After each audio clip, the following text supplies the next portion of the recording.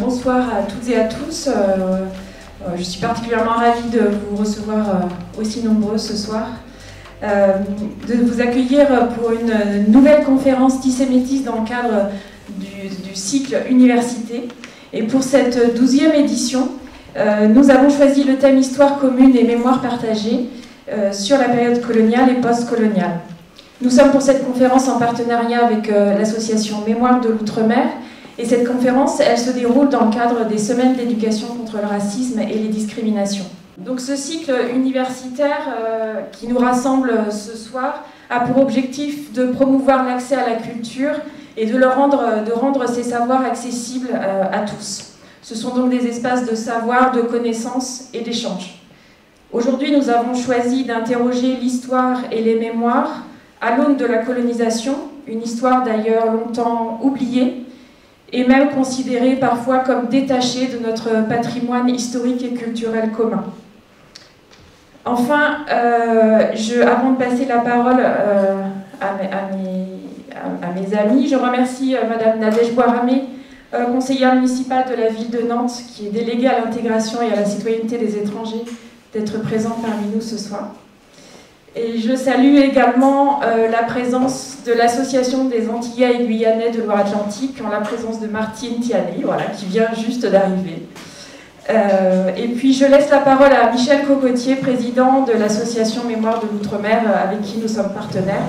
Et ce sera ensuite la parole à Sylvain Bach, directeur de Tissé Métis, qui animera ce débat et présentera les conférenciers. Merci, bonsoir à toutes et à tous et merci vraiment euh, de votre présence. Juste vous dire combien nous sommes heureux, effectivement, nous, en Mémoire de l'Outre-mer, d'être euh, partenaires sur cette manifestation parce que c'est une manifestation qui, euh, d'abord, importe auprès des plus jeunes, mais pas seulement auprès des plus jeunes. C'est une manifestation que nous avons montée donc, autour de, plusieurs événements, des expositions et et un, vernissage qui a laissé beaucoup de beaux souvenirs aux, gens qui, qui, y étaient. Et puis cette, euh, cette soirée, qui est une soirée importante dans ce sens où elle va nous permettre euh, d'aborder une question, des questions euh, qui nous importent aux uns comme aux autres, en particulier dans nos objectifs associatifs, puisque Mémoire de l'Outre-mer tient en son nom déjà le mot mémoire, mais s'attache aussi à développer un petit peu ces histoires, ces différentes histoires qui depuis la tête négrière jusqu'à aujourd'hui, en passant par euh, la colonisation, les décolonisations et tout ce qui s'est implanté après dans le cadre des relations entre certains États euh, occidentaux et l'Afrique, marque encore terriblement aujourd'hui euh, notre rapport à l'autre. Et c'est ce qui nous importe aussi, cette association qui depuis plus de 30 ans a d'abord voulu prendre en charge la, la connaissance objective au grand public de la traite négrière et du passé de la ville de Nantes, mais le passé de la ville de Nantes, c'est pas seulement ça qui nous intéressait, c'était aussi le passé de la France, le passé de l'Europe, et puis à partir de là, de mettre en valeur tout ce qui fait qu'aujourd'hui, euh, notamment la langue française, mais aussi la culture française, euh, sont des éléments qui, au lieu de nous séparer, nous rapprochent des autres. C'est aussi à travers ces, ces actions que Mémoire de l'Outre-mer œuvre aujourd'hui. Euh, beaucoup de bonheur par rapport à ce, partenariat parce qu'on on se connaissait, mais on a appris à, mieux se connaître. Et je crois s'apprécier, en tout cas nous, on a beaucoup apprécié euh, euh, de travailler sur ces semaines de l'éducation contre les discriminations et le racisme avec Métis. Et, et c'est aussi dans l'esprit de, de, faire converger nos richesses que ce bonheur aussi s'exprime aujourd'hui. Donc voilà, je tenais à remercier donc, le fonds documentaire. Euh, monsieur le Président, Monsieur le Directeur, donc de, toute, votre, votre, votre, patience, mais aussi euh, de l'esprit vraiment très ouvert et très convivial, j'ai envie de dire, euh, qui nous a permis de travailler et qui va nous encourager à travailler encore souvent ensemble. Et ça, c'est vraiment quelque chose que j'ai hâte de, de, mettre en place. Merci, et puis je vous passe la parole, cher ami. Bonne soirée à vous. Merci beaucoup. Oui, donc euh, me passer la parole pour une introduction que je vais faire euh, très brève, puisque elle ne va surtout pas euh, faire pâlir le propos de nos invités, car je n'aurai pas ce niveau-là. Mais je vais quand même un peu introduire le propos, c'est ce que l'on a voulu effectivement démontrer par cette soirée, Colonisation et décolonisation renvoient à un passé récent, très récent, qui n'est que supposé passer par le subterfuge d'un voile discret, posé sur cette partie de l'histoire commune de l'humanité et que depuis quelques années, certains chercheurs, intellectuels, associations ou citoyens tentent de soulever pour remettre en lumière un passé douloureux et surtout le comprendre. N'oublions pas l'injustice faite à ceux que la mémoire oublie. Ce passé suscite des débats polémiques, renvoyant les mémoires les unes aux autres et convoquant l'histoire de façon parfois partielle et partielle. Tissémétis ce soir a souhaité que cette conférence invite à dépasser les oppositions stériles entre histoire et mémoire. Dépasser également les polémiques sémantiques se rapportant trop souvent aux expressions guerre de mémoire, concurrence des mémoires, creux ou trop plein mémoriel, etc. On aura le loisir d'en parler. Que nous révèle l'intrusion de la mémoire et de cette soi-disant opposition entre histoire et mémoire sur la conscience collective de notre société face à son passé colonial. Quelle est la démarche de l'historien vis-à-vis de ce que sont les mémoires, individuelles, familiales, collectives, je dirais même les mémoires d'État? Nous faisons pour cette douzième édition du cycle université le choix d'aborder la thématique Histoire commune et mémoire partagée dans un objectif de partage des savoirs et de la connaissance avec le seul parti pris de former à la critique et à son propre cheminement d'opinion. Le sujet de ce soir est un préalable à notre combat mené depuis 30 ans, celui de la lutte contre toute forme de discrimination dans notre société. Pour ouvrir nos esprits, et nous guider dans notre propre réflexion, nous avons l'immense plaisir de recevoir ce soir deux historiens. Tout d'abord, Madame Catherine Kokri-Vitrovitch, vous êtes historienne, professeure émérite de l'Université Paris 7 Diderot. Vous êtes une spécialiste et une pionnière de l'histoire de l'Afrique en France. Vous êtes également une référence en Amérique du Nord et en Afrique subsaharienne. Vous avez longuement et régulièrement enseigné. Vous êtes l'autrice de nombreux ouvrages, pour n'en citer que quelques-uns, Les Africaines, Histoire des femmes d'Afrique du 19e au 20e siècle, Enjeux politiques de l'histoire coloniale, Être esclave, Afrique-Amérique du 15e au 22e siècle, oh, pardon, au 20e siècle, Les routes de l'esclavage, Histoire des traites africaines, et puis le dernier en date, Le choix de l'Afrique, qui est un peu autobiographique, Les combats d'une pionnière de l'histoire africaine et M. Sébastien Ledoux, chercheur en histoire contemporaine au Centre d'histoire sociale des mondes contemporains à l'Université de Paris 1, Panthéon-Sorbonne, et vous enseignez à Sciences Po Paris. Vous êtes spécialiste des enjeux et des politiques publiques de la mémoire, et vous travaillez sur les mémoires de la Shoah, de l'esclavage et encore de la guerre d'Algérie. Vous êtes l'auteur du Devoir de mémoire, une formule et son histoire, réédité en 2021, que vous pouvez trouver facilement, de la Nation en récit, des années 70 à nos jours, et vous avez dirigé le dernier numéro de la revue Mémoire en jeu sous le titre Quelle mémoire pour la guerre d'indépendance algérienne pendant 60 ans? Donc, chers invités, la parole est à vous, et puis nous vous garderons ensuite pour un large débat et un temps d'échange sur les questions et éventuellement les témoignages de notre auditoire. Je vous laisse la parole.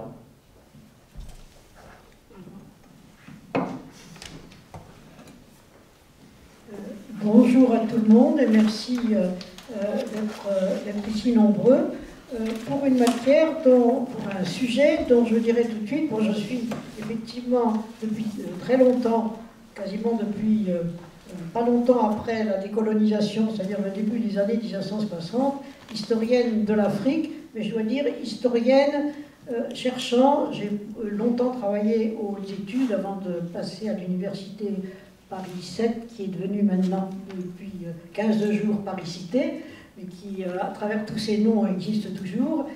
Euh, j'ai donc toujours cherché à faire de l'histoire. L'objectif qui était tout à fait novateur à ce moment-là de Fernand Brodel à, la sixième section d'école pratique de hautes études, qui est devenue le HESS ensuite, c'était d'avoir des centres interdisciplinaires consacré à des aires géoculturelles pour faire l'histoire de ces zones à partir de ces zones. Si bien que je ne suis pas du tout, et de moins en moins, je dirais, une spécialiste d'histoire française, je ne suis pas non plus une spécialiste d'histoire de la colonisation vue de France.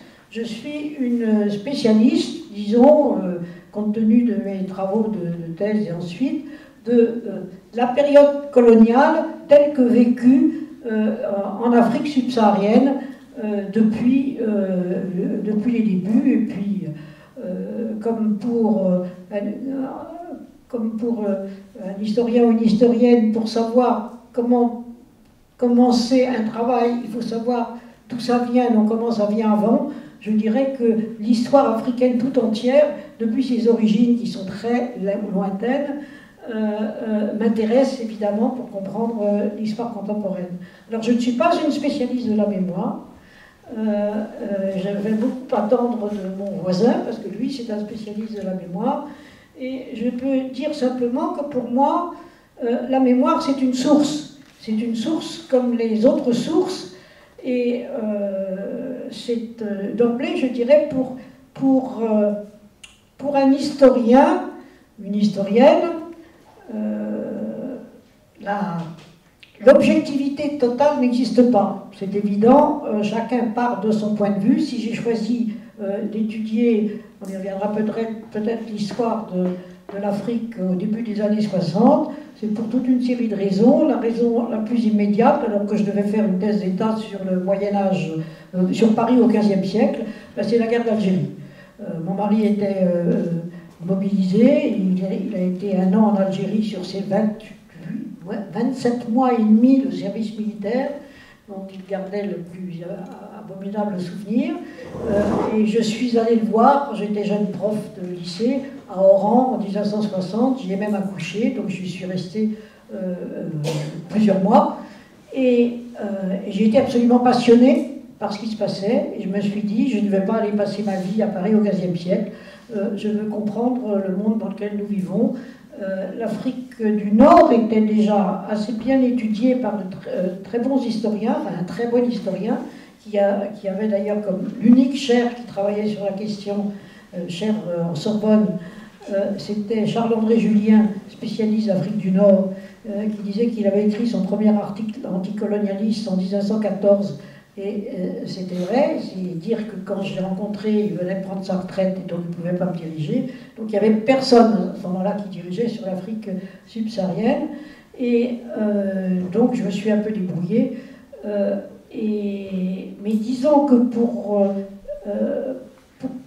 pour dire, j'ai encore une minute, euh, euh, pour moi la mémoire, donc je vous l'ai dit, c'est une source comme une autre. Et euh, je dirais pour simplifier qu'en histoire africaine, vous avez deux types de mémoire. Vous avez la mémoire ancienne, qui est surtout développée sous une forme étudiée en Afrique de l'Ouest, qu'on appelle par les traditionnistes, dans des civilisations non écrites, euh, l'histoire se, transmettait oralement. Et donc de génération en génération, vous aviez des spécialistes qui racontaient l'histoire, et euh, cette histoire finalement a été transcrite, mais elle a été transcrite à partir du, XVIe, du XVIIe siècle, et puis surtout après, euh, c'était par des Africains qui avaient appris l'arabe, qui étaient arrivés par le nord, enfin c'était l'arabe qui était arrivé par le nord, par les Africains, et ensuite, à partir du XVIIIe siècle, par les, euh, par les voyageurs extérieurs et par euh, les ethnologues et les anthropologues qui sont développés à partir de, la deuxième moitié du XIXe siècle, évidemment au XXe siècle euh, et depuis. Alors, toutes ces mémoires, ce sont, des, sont devenus des textes, évidemment, été transcrits mais euh, ce qui a été transcrit, c'était les mémoires d'avant. Euh, et ce sont des mémoires considérées comme, euh, c'est essentiel, parce qu'évidemment, il y a énormément de ressources dans ces, dans, ces, transcriptions qui sont conservées par ce qu'on appelle les traditionnistes. Les coloniaux disaient les griots. En fait, c'est les traditionnistes qui conservaient les traditions. mais bon, ça s'est passé sur des siècles. Ils sont censés avoir toujours répété la même chose. Euh, un historien n'y croit jamais. même quand on raconte la même chose, il peut y avoir des mots qui s'introduisent, d'autres choses qui s'introduisent. Bref, ce sont des documents formidables pour nous instruire sur ce qui s'est passé en Afrique de l'Ouest depuis le 9e siècle, parce que le 10e siècle, mais il faut les, euh, étudier comme des sources avec des critiques pour se demander, euh, ne serait-ce que pour qui le, traditionniste travaillait. Parce que les traditionnistes étaient des gens castés dans une société hiérarchisée, et par conséquent, ils étaient attachés aux grandes familles et ils étaient chargés de conserver l'histoire de la famille. Évidemment, ils n'allaient pas euh, trop retenir les, tous les faits épouvantables de la famille, il allait plutôt être laudatif. Alors, ce qui est très intéressant, c'est qu'il y a beaucoup de traditionnistes, il y a beaucoup de familles, il y a beaucoup de traditions, et le travail de l'historien euh, qui travaille dans ces, dans ces périodes, c'est de collecter toutes ces traditions, de les confronter, elles peuvent être parfois contradictoires, d'essayer de comprendre pourquoi, etc., etc., c'est-à-dire de faire un travail euh, d'interprétation de sources. Et puis, euh, moi, j'ai travaillé sur la période essentiellement coloniale et euh, maintenant postcoloniale, c'est-à-dire la fin du 19e et le 20e siècle. Et là aussi, vous avez beaucoup de sources orales, vous avez beaucoup d'oralité. Je suis allée, alors évidemment, il y a beaucoup de sources écrites, bien entendu. Euh, vous avez les archives coloniales. Les colonisateurs étaient très papiers, ils écrivaient tout. Donc les archives coloniales sont très riches, avec un point de vue, qui est le point de vue du colonisateur, bien entendu. Donc là aussi, il y a euh, des, critiques attentives à faire. Euh, mais euh, ce que je voulais faire dès le démarrage et j'ai commencé à faire en 1965 pour la première fois, et euh, je suis allé continuellement en Afrique tous les ans, et parfois plusieurs fois, jusque disons au début des années 2000, c'est de rencontrer, de rencontrer des témoins, de rencontrer des souvenirs, de rencontrer des mémoires. J'en ai rencontré beaucoup, et quelquefois contradictoires mais je les ai toujours prises comme euh, euh, des sources à confronter avec d'autres sources. Et euh, ce qui est merveilleux dans ces cas-là, c'est quand on arrive à faire coïncider des sources de différentes natures, par exemple des, sources orales, des mémoires, et des sources écrites. là, quand on a deux types de sources qui vous racontent à peu près la même chose, on est sûr que ça s'est passé comme ça. Sinon, ça donne, je dirais, ça donne une atmosphère, ça, donne, ça fait comprendre le contexte, euh, la position des gens. Euh, pour moi, les mémoires sont très importantes. Elles ont été très importantes dans mon travail. Euh, pour comprendre, pour comprendre des, cultures qui m'étaient étrangères au démarrage complètement. Et, et puis, dans mon dernier ouvrage, peut-être j'aurai l'occasion d'en parler dans une autre question, ben, j'ai utilisé ma propre mémoire pour euh, raconter justement ce que j'ai fait à partir des années 60. Alors euh, là aussi, euh, je pense que la mémoire, c'est une source très importante pour l'historien et c'est comme ça que je la prends. Mais je suis sûre que la mémoire en elle-même, elle a beaucoup de choses à dire que nous allons entendre maintenant. On va donc laisser Sébastien Ledoux parler. Et puis sur une interrogation aussi sur la mémoire et il un mauvais objet de l'historien? Mais peut-être avant euh, d'écrire vos travaux actuels Oui, merci en tout cas. Merci, euh, merci pour cette invitation. Euh, je suis vraiment très heureux d'être ici. C'est une ville qui est chère à mon cœur. je la connais depuis très longtemps. J'ai vécu très peu de temps, il y a quelques décennies, mais, mais voilà, je suis toujours resté proche de, de la ville de Nantes. Euh, pour répondre à votre question, en fait, euh, effectivement, la, différence euh, avec ma collègue, c'est que j'ai fait de la mémoire un objet d'histoire. Et c'est complexe, c'est pas simple, c'est vraiment un chantier considérable, et je vais essayer d'expliquer pourquoi.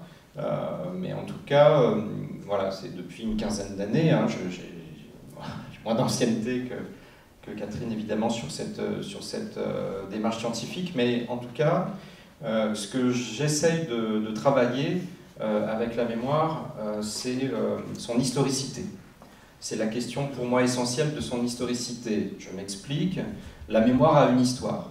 Et en fait, depuis quelques années, on y reviendra peut-être tout à l'heure, le phénomène, ce qu'on appelle le phénomène mémoriel, le phénomène, mémoriel déjà se manifeste par le langage, à travers, et c'est ce que j'ai étudié dans, ma thèse sur le devoir de mémoire, déjà à travers la langue, euh, avec une profusion de termes autour de, du mot même de mémoire. Et même le mot mémoire a une histoire, et on le voit dans une polysémie de plus en plus forte à partir des années 70. Voilà, donc je commence à, à donner une périodisation, vous voyez, je ne peux pas m'en empêcher, mais en tout cas c'est ça qui m'intéresse, si vous voulez.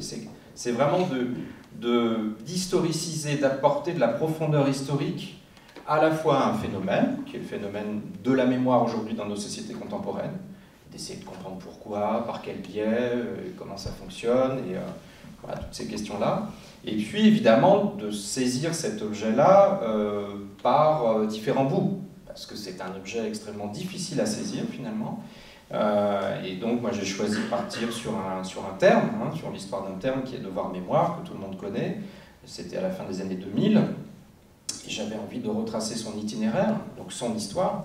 Et à partir de cette histoire-là, évidemment, je ne savais pas du tout ce que j'allais découvrir. J'ai découvert un certain nombre de choses qui m'ont amené vers euh, finalement une analyse euh, un peu plus large justement de euh, la place que nos sociétés réservent à la fois à ce terme de mémoire, mais évidemment à la notion, à ce qu'il recèle, et, en termes d'investissement politique, associatif, culturel.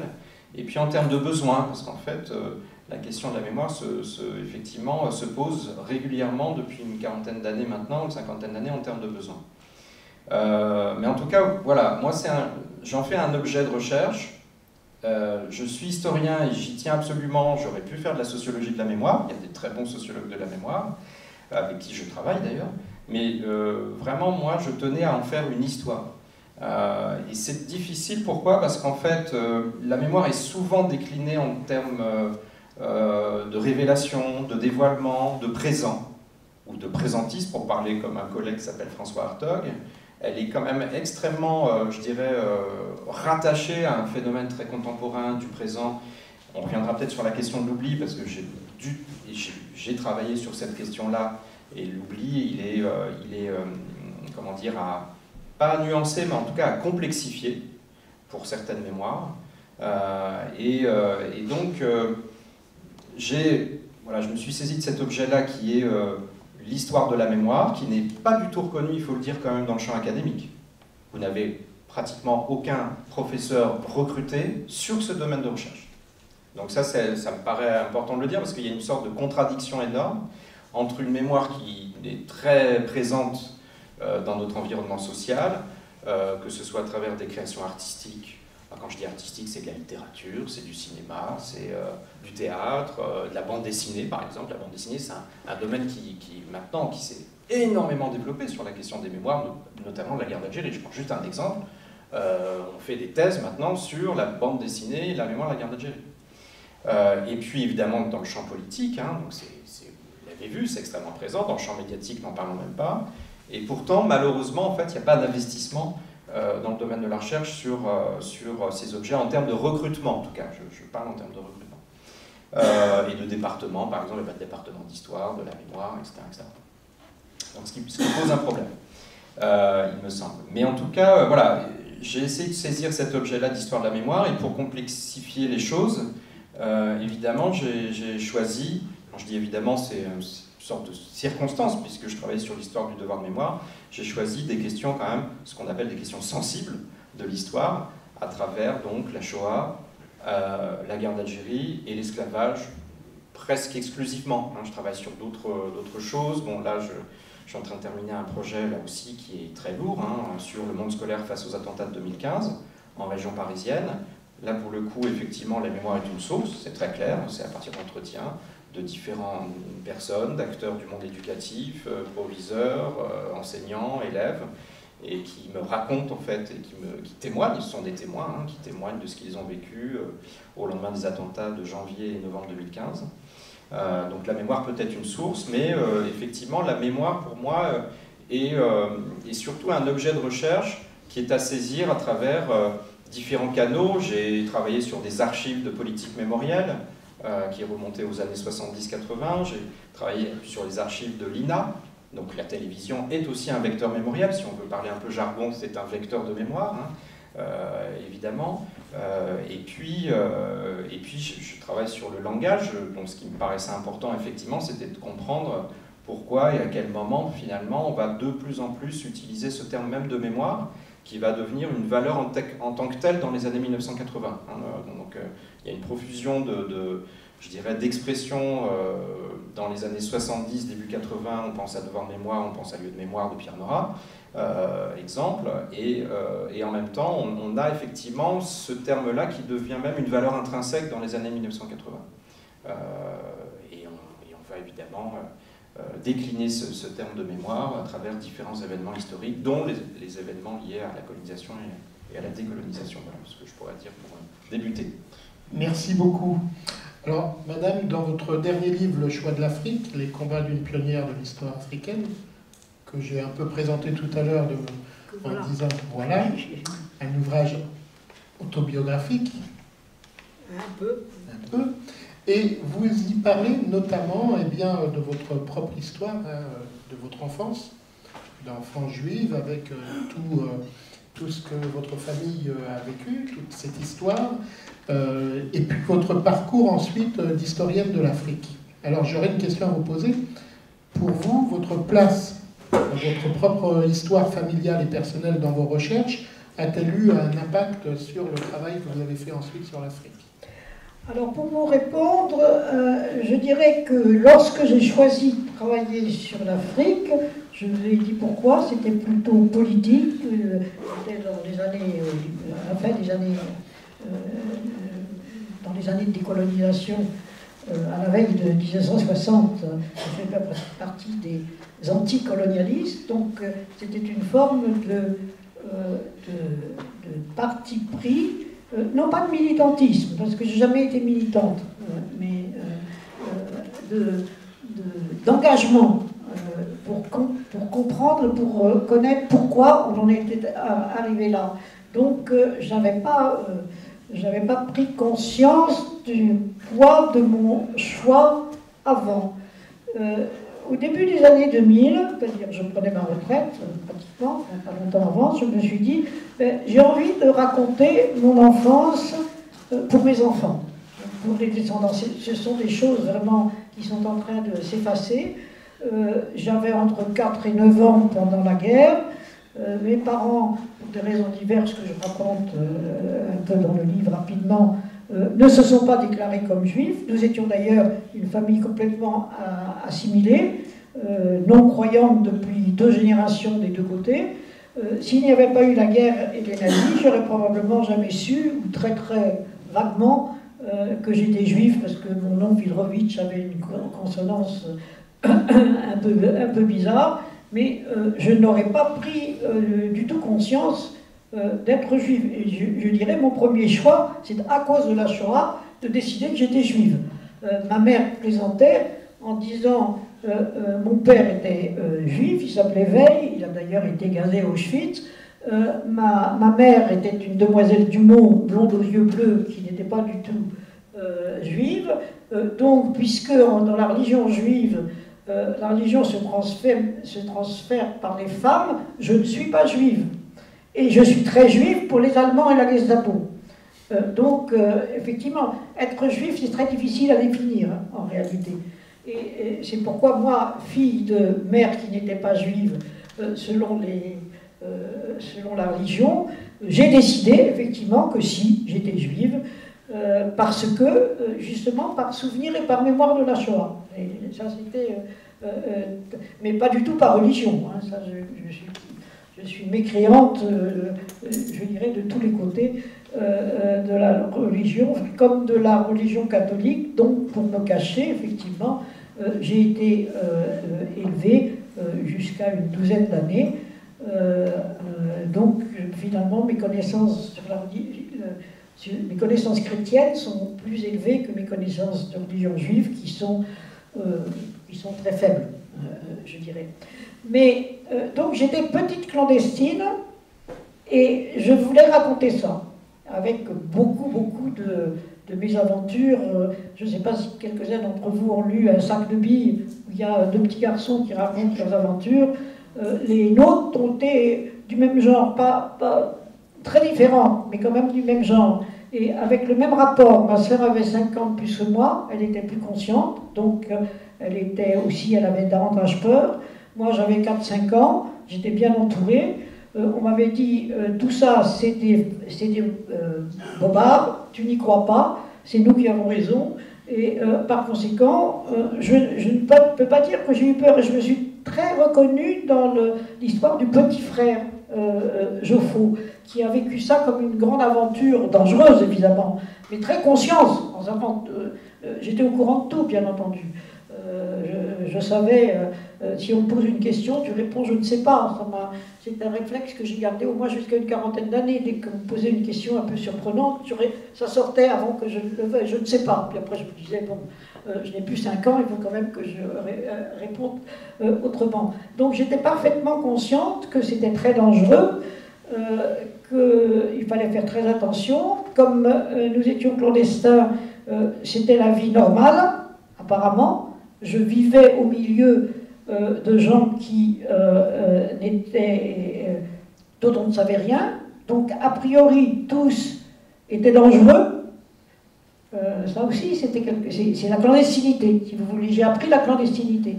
Et en réfléchissant à ça, je me suis dit, ben, je pense que finalement ça a joué dans mon choix pour l'Afrique. Parce que m'intéressant sur la colonisation, ben, j'avais très bien pris conscience du fait que j'étais enfant considérée comme étrangère dans mon propre pays. Et j'ai dit ça, j'ai dit ça à quelques collègues, j'ai dit, ben oui, la, colonisation c'était l'occupation. Alors ils ont poussé des hauts cris en disant non, l'occupation, l'occupation c'est l'occupation française pendant la Deuxième Guerre mondiale. J'aurais dit, ben oui, je le sais bien. Mais euh, toute, euh, toute, conquête entraîne l'occupation. Euh, et les gens qui subissent cette occupation, bon, il y a trois réactions possibles. Ils, ils, résistent, ça donne les résistants. Ils collaborent, ça donne les collaborateurs. ou, pour la plus grande partie, ils essayent de se débrouiller comme ils peuvent. cette espèce de très vaste marée, c'est là-dedans que je vivais. Et ce très vaste marais, on ne pouvait pas savoir ce qu'il pensait. Quelquefois, les réactions étaient positives par rapport aux pourchassés, quelquefois elles étaient négatives. Euh, dans l'ignorance, euh, il fallait être excessivement prudent. Alors ça, ça, ça a, joué beaucoup euh, par rapport à ma propre mémoire. Alors pour, pour écrire, pour écrire ces souvenirs, j'avais mes propres souvenirs, mais des souvenirs d'une fillette de 4 à 9 ans sont très précis par des images, mais manquent vraiment de, précision et de continu.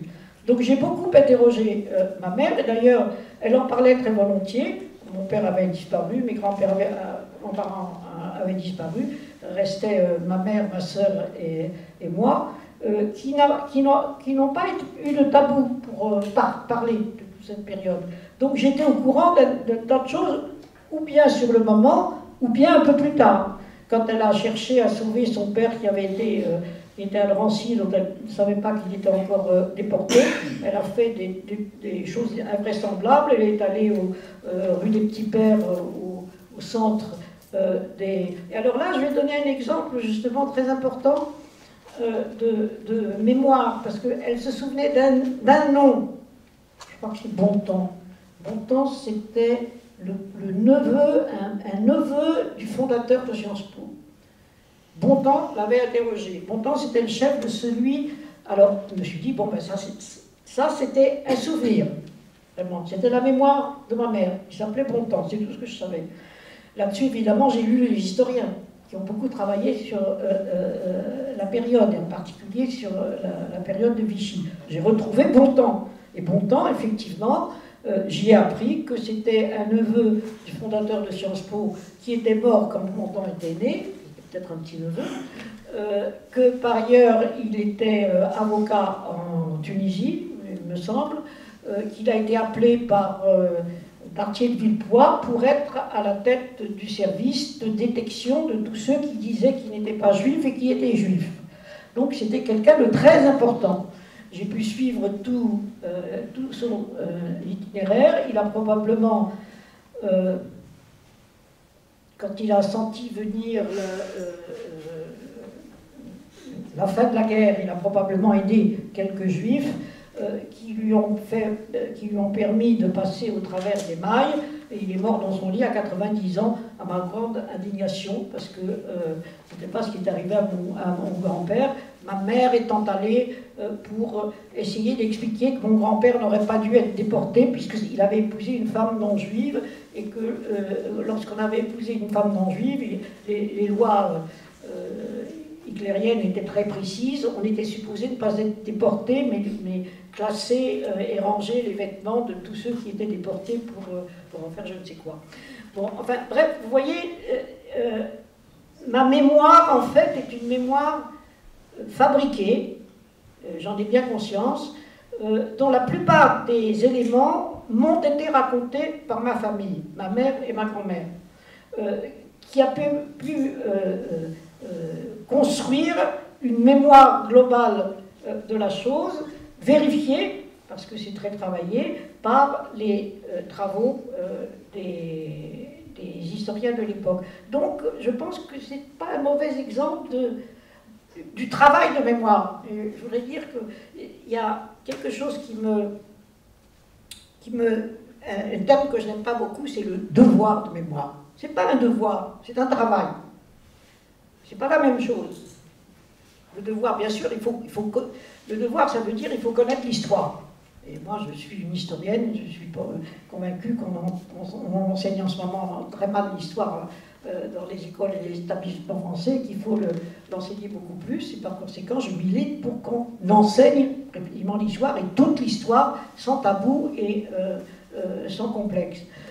mais ce qui est important, c'est travailler ces mémoires pour les connaître, justement. Le travail de mémoire, c'est le domaine de la connaissance, du savoir. Le devoir de mémoire, c'est le, domaine de la morale. Alors, on sort du travail de l'historien. Euh, et moi, je, me veux très historienne euh, dans, mon approche. Mais je sais que c'est quelque chose qui n'est pas partagé, parce que tout le monde n'est pas historien, et tout le monde n'est pas soucieux du, savoir, et par conséquent, euh, je serais bien contente de savoir ce que vous pensez du devoir de mémoire, du travail de mémoire. juste un peu avant, quand, je vais m'arrêter non, juste quand vous avez fait le choix de l'Afrique, vous étiez pionnière à l'université. Comment vous avez été accueilli par le fait de vouloir travailler sur euh, cette euh, mémoire et cette histoire? Alors, j'étais aux études dans un endroit très euh, protégé. j'étais petite main, enfin, j'avais été. je ne sais plus comment ça s'appelait, mais j'étais l'équivalent d'assistant, quelque chose comme ça, pendant un certain nombre d'années. et précisément dans des lieux qui se consacraient à l'histoire des autres. Donc euh, c'était normal. Mais c'était complètement anormal pour, euh, les universités. Euh, d'abord, il n'y avait pas de directeur de recherche. J'ai eu du mal à en trouver un. Il a fallu en 62 qu'il y ait deux, professeurs d'histoire de l'Afrique qui soient élus à l'université pour que je puisse m'adresser à l'un d'eux. et puis pour les autres, l'histoire de l'Afrique n'existait pas. Elle n'existait pas parce que, ben, justement parce qu'il y avait que de la mémoire, je dirais. Euh, elle n'existe pas puisqu'il n'y a pas d'histoire. C'est pas vrai. On, on, vit une histoire, les sociétés vivent des histoires, et puis on travaille et on écrit sur les histoires. Mais dire une société n'a pas d'histoire euh, parce qu'on n'a pas écrit son histoire, euh, c'est stupide. Mais moi, c'est beaucoup ce que j'ai entendu pendant très longtemps, hein, jusque jusqu'aux années 90, ou, euh, début du siècle. Bon, vous travaillez sur l'Afrique Il y a des sources. Il y a beaucoup de sources en réalité. Euh, dès qu'on cherche des sources, on en trouve. Il y a beaucoup, beaucoup de sources de toute nature. Euh, mais personne ne le savait. Et, et comment vous faites? Et puis surtout, ah, ah bon, c'était tout. Je ne posais pas de questions, ça n'intéressait personne. Ça a commencé à intéresser, je dirais, avec la loi Taubira en 2001, euh, avec cette, grande polémique qui a éclaté entre 2000 et 2010 sur euh, la colonisation. Euh, alors, de façon, de mon point de vue d'historienne, très mal posée, les aspects positifs et les aspects négatifs de la colonisation, y compris par les historiens, c'est-à-dire un point de vue moral, or, la colonisation, elle a été, d'abord, avant de se demander si elle est bonne ou mauvaise, il faut d'abord comment elle s'est passée. Et un, un élément de cette, de cette colonisation qui a pu paraître positif sur le moment est devenu négatif ensuite. On, ne peut jamais savoir. Et donc, l'éducation, l'hôpital, ben oui, il y en a eu un petit peu. Euh, n'empêche qu'en 1960, euh, vous aviez peut-être 5% euh, maximum des enfants qui étaient à l'école qui avaient le certificat d'études. C'était le diplôme supérieur, sauf pour des gens très exceptionnels. Il y en avait, ça se compte sur les doigts d'une main. Léopold Sédar Senghor, plus quelques autres d'Afrique occidentale. Mais le personnel formé pour euh, diriger un pays en 1960 n'existait pas en Afrique occidentale. Donc l'éducation a permis euh, euh, aux jeunes de réclamer l'indépendance, effectivement, entre autres, de leur donner des idées, mais ne leur a pas donné, ne leur a donné pratiquement aucune compétence pour pouvoir exercer le, pouvoir de façon... et ça pendant, ben, jusqu'à ce que, à partir de 1960, justement, les jeunes États s'efforce de euh, généraliser l'enseignement primaire, euh, mais ça prend du temps. Et c'est seulement en 70-80 que sont apparues les premières générations adultes, pensantes, qui, qui sont apparues ensuite très actives au début des années 2000. Et puis pas seulement elles, bien sûr, et tous les autres. Je parle, je parle euh, d'une toute petite minorité finalement euh, au démarrage. Et euh, tout ça, si vous voulez, ça fait partie de, de la, reconstitution. Et chaque fois, vous dites, la mémoire, je suis tout à fait d'accord avec vous, j'y connais rien, mais c'est évident que la mémoire n'est jamais la même les gens, les, gens ne retiennent pas. Si j'ai retenu euh, la Deuxième Guerre mondiale, c'est bien parce que j'étais en situation de la, la connaître. Mais euh, la plupart de, euh, de mes contemporains ben, ne l'ont pas connue. J'ai même une de mes amies que j'ai retrouvée très tardivement, qui était, qui était d'origine juive, mais qui ne le savait pas ses parents ne lui ont pas dit. Ils sont partis à la campagne. Elle a mon âge, c'est-à-dire qu'elle avait le même âge que moi euh, quand on était gamine. Elle n'a jamais su qu'elle était juive. Euh, et elle ne l'a appris qu'après la guerre. C'est une façon de la sauver. Mais euh, c'est aussi une façon de nier la mémoire. Enfin, c'est compliqué. Ça, je, demande votre analyse. Et je vais m'arrêter là parce que sinon je, m'embarque trop, trop loin. Alors, je crois qu'il y a eu deux questions directes hein, de poser. Euh, l'interrogation, elle est plutôt sur la mémoire et les liens entre histoire et mémoire. Si vous pouvez nous éclairer euh, de par votre... Hmm. En fait, pour répondre à la, première question, euh, qui, évidemment qui, m'a beaucoup amusé, parce que la, question de devoir mémoire, travail de mémoire, quand j'ai commencé donc ma thèse sur le devoir de mémoire, c'est un objet que j'ai choisi moi-même, il ne m'a pas été imposé, donc j'ai choisi librement de travailler sur ça. C'était très inconfortable pour moi de le faire dans le champ de l'histoire. Ça aurait été beaucoup plus confortable de le faire dans le champ, dans le champ de la sociologie d'ailleurs. Mais dans le champ des historiens, en 2008, je travaillais avec le diable en travaillant sur le devoir de mémoire. Parce qu'effectivement, vous n'aviez personne qui défendait la notion ou l'expression de devoir de mémoire parmi mes collègues. Personne. Au contraire, ils étaient à dénoncer sans cesse ce devoir de mémoire.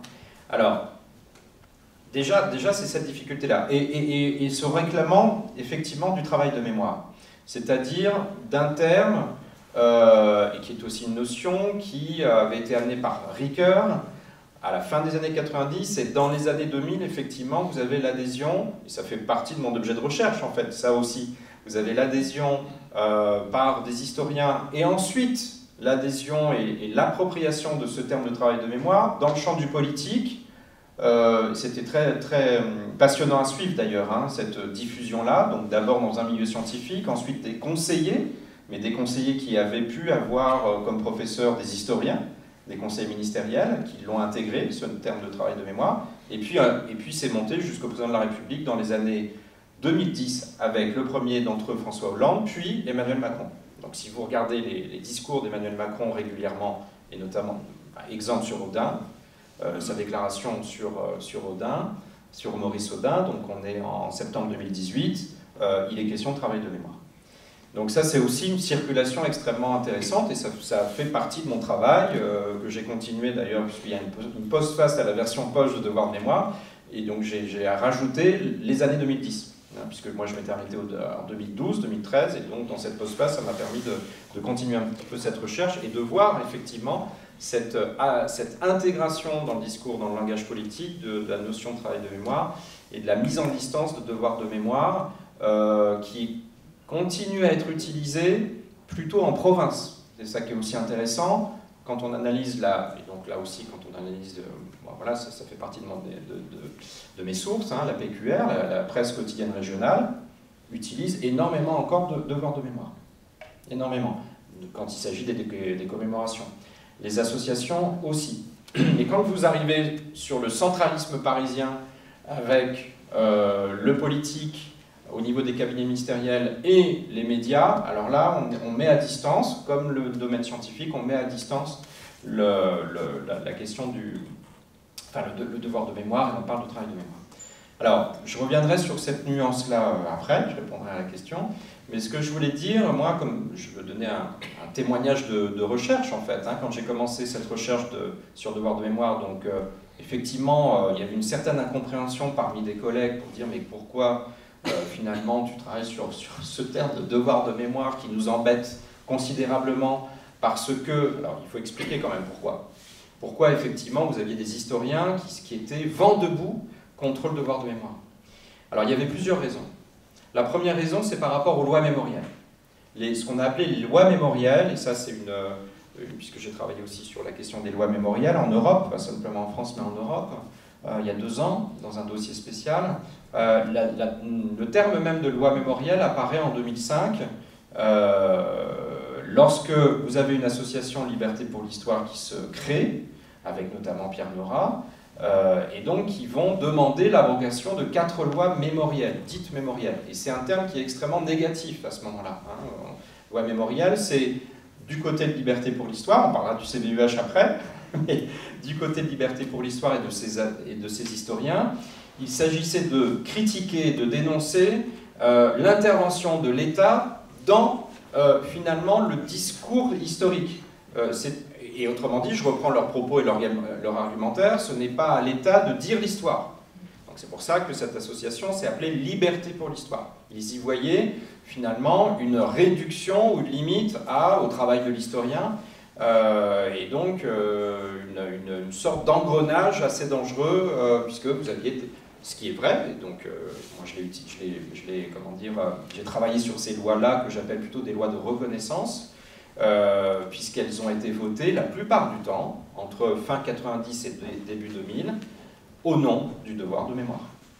La plupart du temps, quand on regarde, et c'est une autre source que j'ai pu aussi analyser, les discours et les débats parlementaires avant l'adoption de la loi, par exemple la loi Taubira 2001, mais elle a été proposée fin 99 par Christiane Taubira, alors députée de Guyane. On est le 23 décembre 1999, donc il y a ensuite des débats parlementaires, des navettes, Assemblée nationale, Sénat, etc., etc. Vous avez des débats, et régulièrement, le terme de devoir de mémoire, il est là. Il est omniprésent parmi les députés et parmi les sénateurs. Hein, c'est au nom du devoir de mémoire qu'on va voter notamment la, loi Taubira.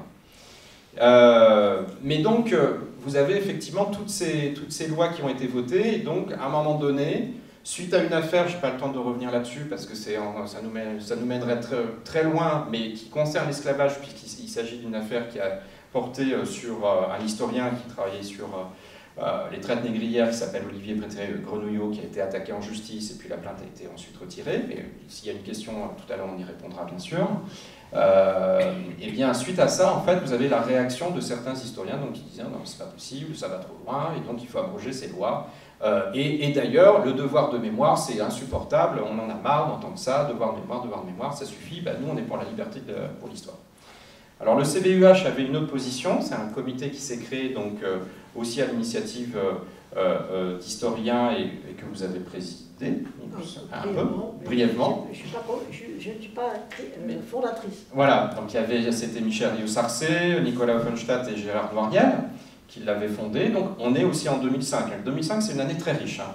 euh, puisque c'est par contre là une réaction euh, pas à des lois en général, mais à une loi précise que vous évoquiez en fait tout à l'heure en filigrane, qui est la loi du 23 février 2005, qui, dans un article, donc c'était une loi en fait qui avait été proposée par le gouvernement plutôt sur la reconnaissance en fait, en gros, la reconnaissance du rôle des rapatriés, donc des pieds noirs, pendant la colonisation. Et euh, au moment des débats parlementaires, vous aviez eu un article, 4 alinéa 2, qui avait demandé à ce que dans les programmes scolaires, on reconnaisse les aspects, le rôle positif de la présence française en Outre-mer, et notamment en Afrique du Nord. Hein, donc on revient sur cette question du rôle positif, euh, donc à travers une approche comme ça morale. Euh, du rôle positif, en gros, de la présence coloniale française en Afrique du Nord et notamment en Algérie. Donc ça, c'est un article qui a été retiré un an après par Jacques Chirac, puisqu'il y a eu un débat, euh, je, pense que vous en souvenez, hein, avec l'intervention d'historiens. Et donc, justement, dans ces interventions, un comité qui s'est mis en place, le, le CVH, ça veut dire Comité de vigilance des usages publics de l'histoire, pour dénoncer cette loi-là et pour demander son retrait, hein, pour demander surtout l'abrogation de cet alinéa article, article 4. Voilà, donc euh, moi, pour revenir à, cette question-là, euh, quand je commence effectivement à test sur le devoir de mémoire, on ne comprend pas. Et en fait, pour répondre à votre question, c'est vrai que, évidemment, en travaillant sur l'histoire du devoir de mémoire, je me suis retiré de, toute appréciation, en fait, de tout jugement sur ce terme de devoir de mémoire, parce qu'autrement, je n'aurais pas pu faire un travail correct. Donc, c'est savez, c'est la fameuse euh, neutralité axiologique de Weber. Euh, il parle comme ça de ses objets de recherche. Il faut, il faut avoir quand même, en tout cas, l'objectif d'une certaine neutralité, même si ça n'existe pas, on le sait bien, mais en tout cas, être dans cet objectif-là. Et donc, moi, je me suis toujours empêché, euh, pendant toutes ces années, d'avoir un avis sur ce terme de devoir de mémoire.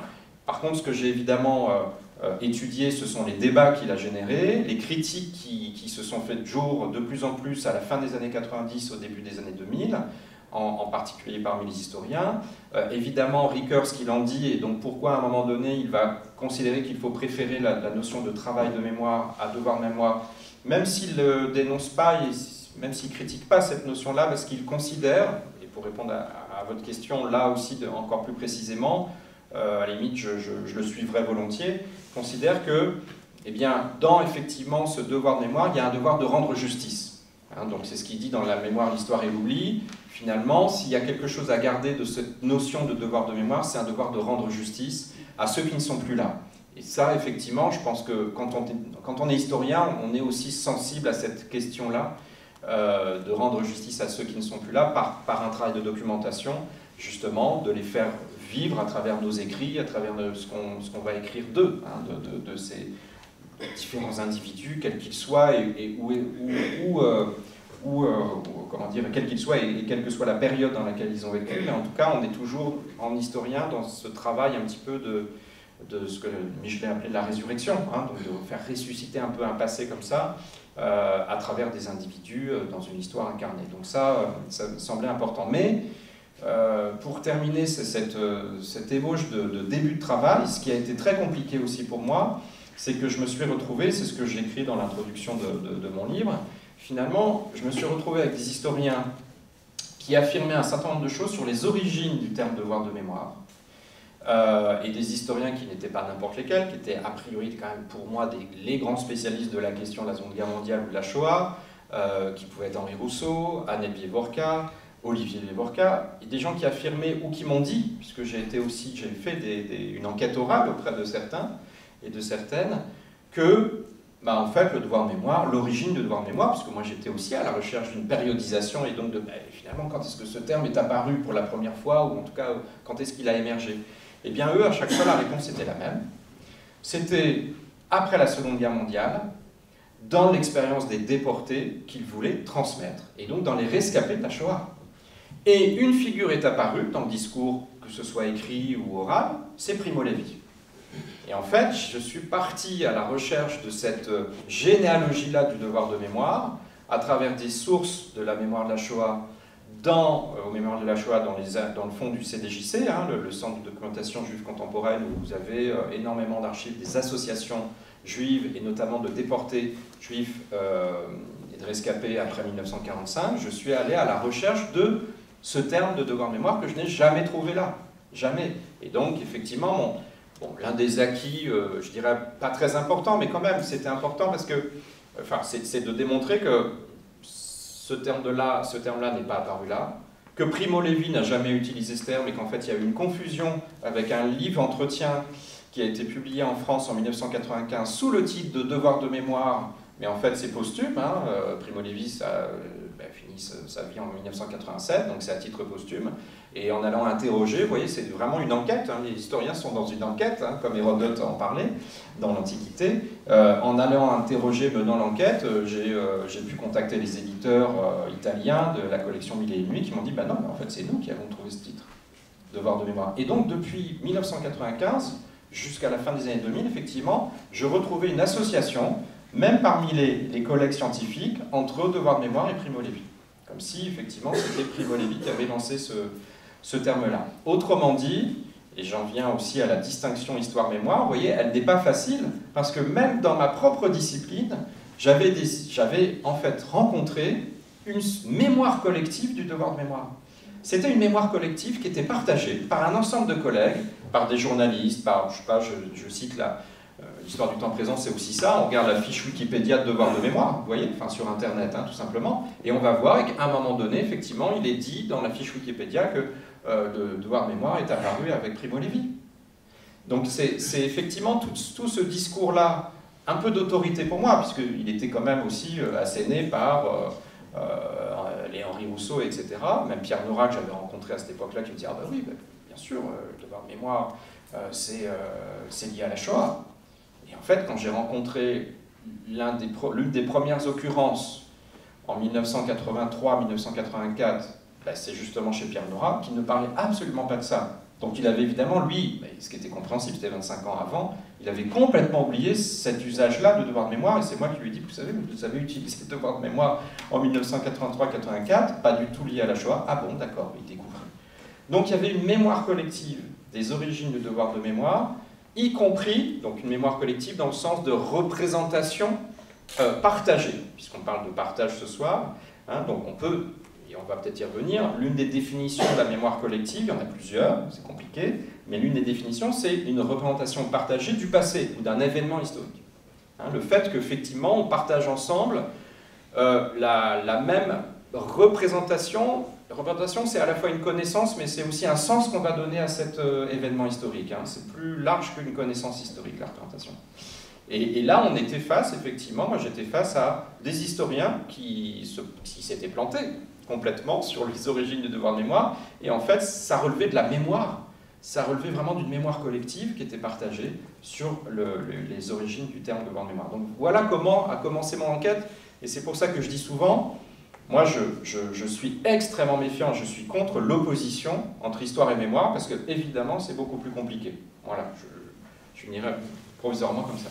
Alors, il nous reste... Euh, je peux dire un mot euh, là-dessus, euh, ce que vous dites est, passionnant, et je veux dire que j'ai été partie prenante de ces... partie prenante, témoin, plus exactement, témoin de ces polémiques extrêmement violentes entre historiens sur euh, les lois mémorielles, euh, euh, qui étaient souvent, à mon avis, d'observatrice, à la fois intérieure et extérieure, très mal, très mal interprétées. Et ce qui m'a beaucoup frappé dans ces polémiques, en particulier sur l'histoire coloniale, qui, qui, ont été très vives entre 2000 et 2010, c'est vraiment ce qui a dominé.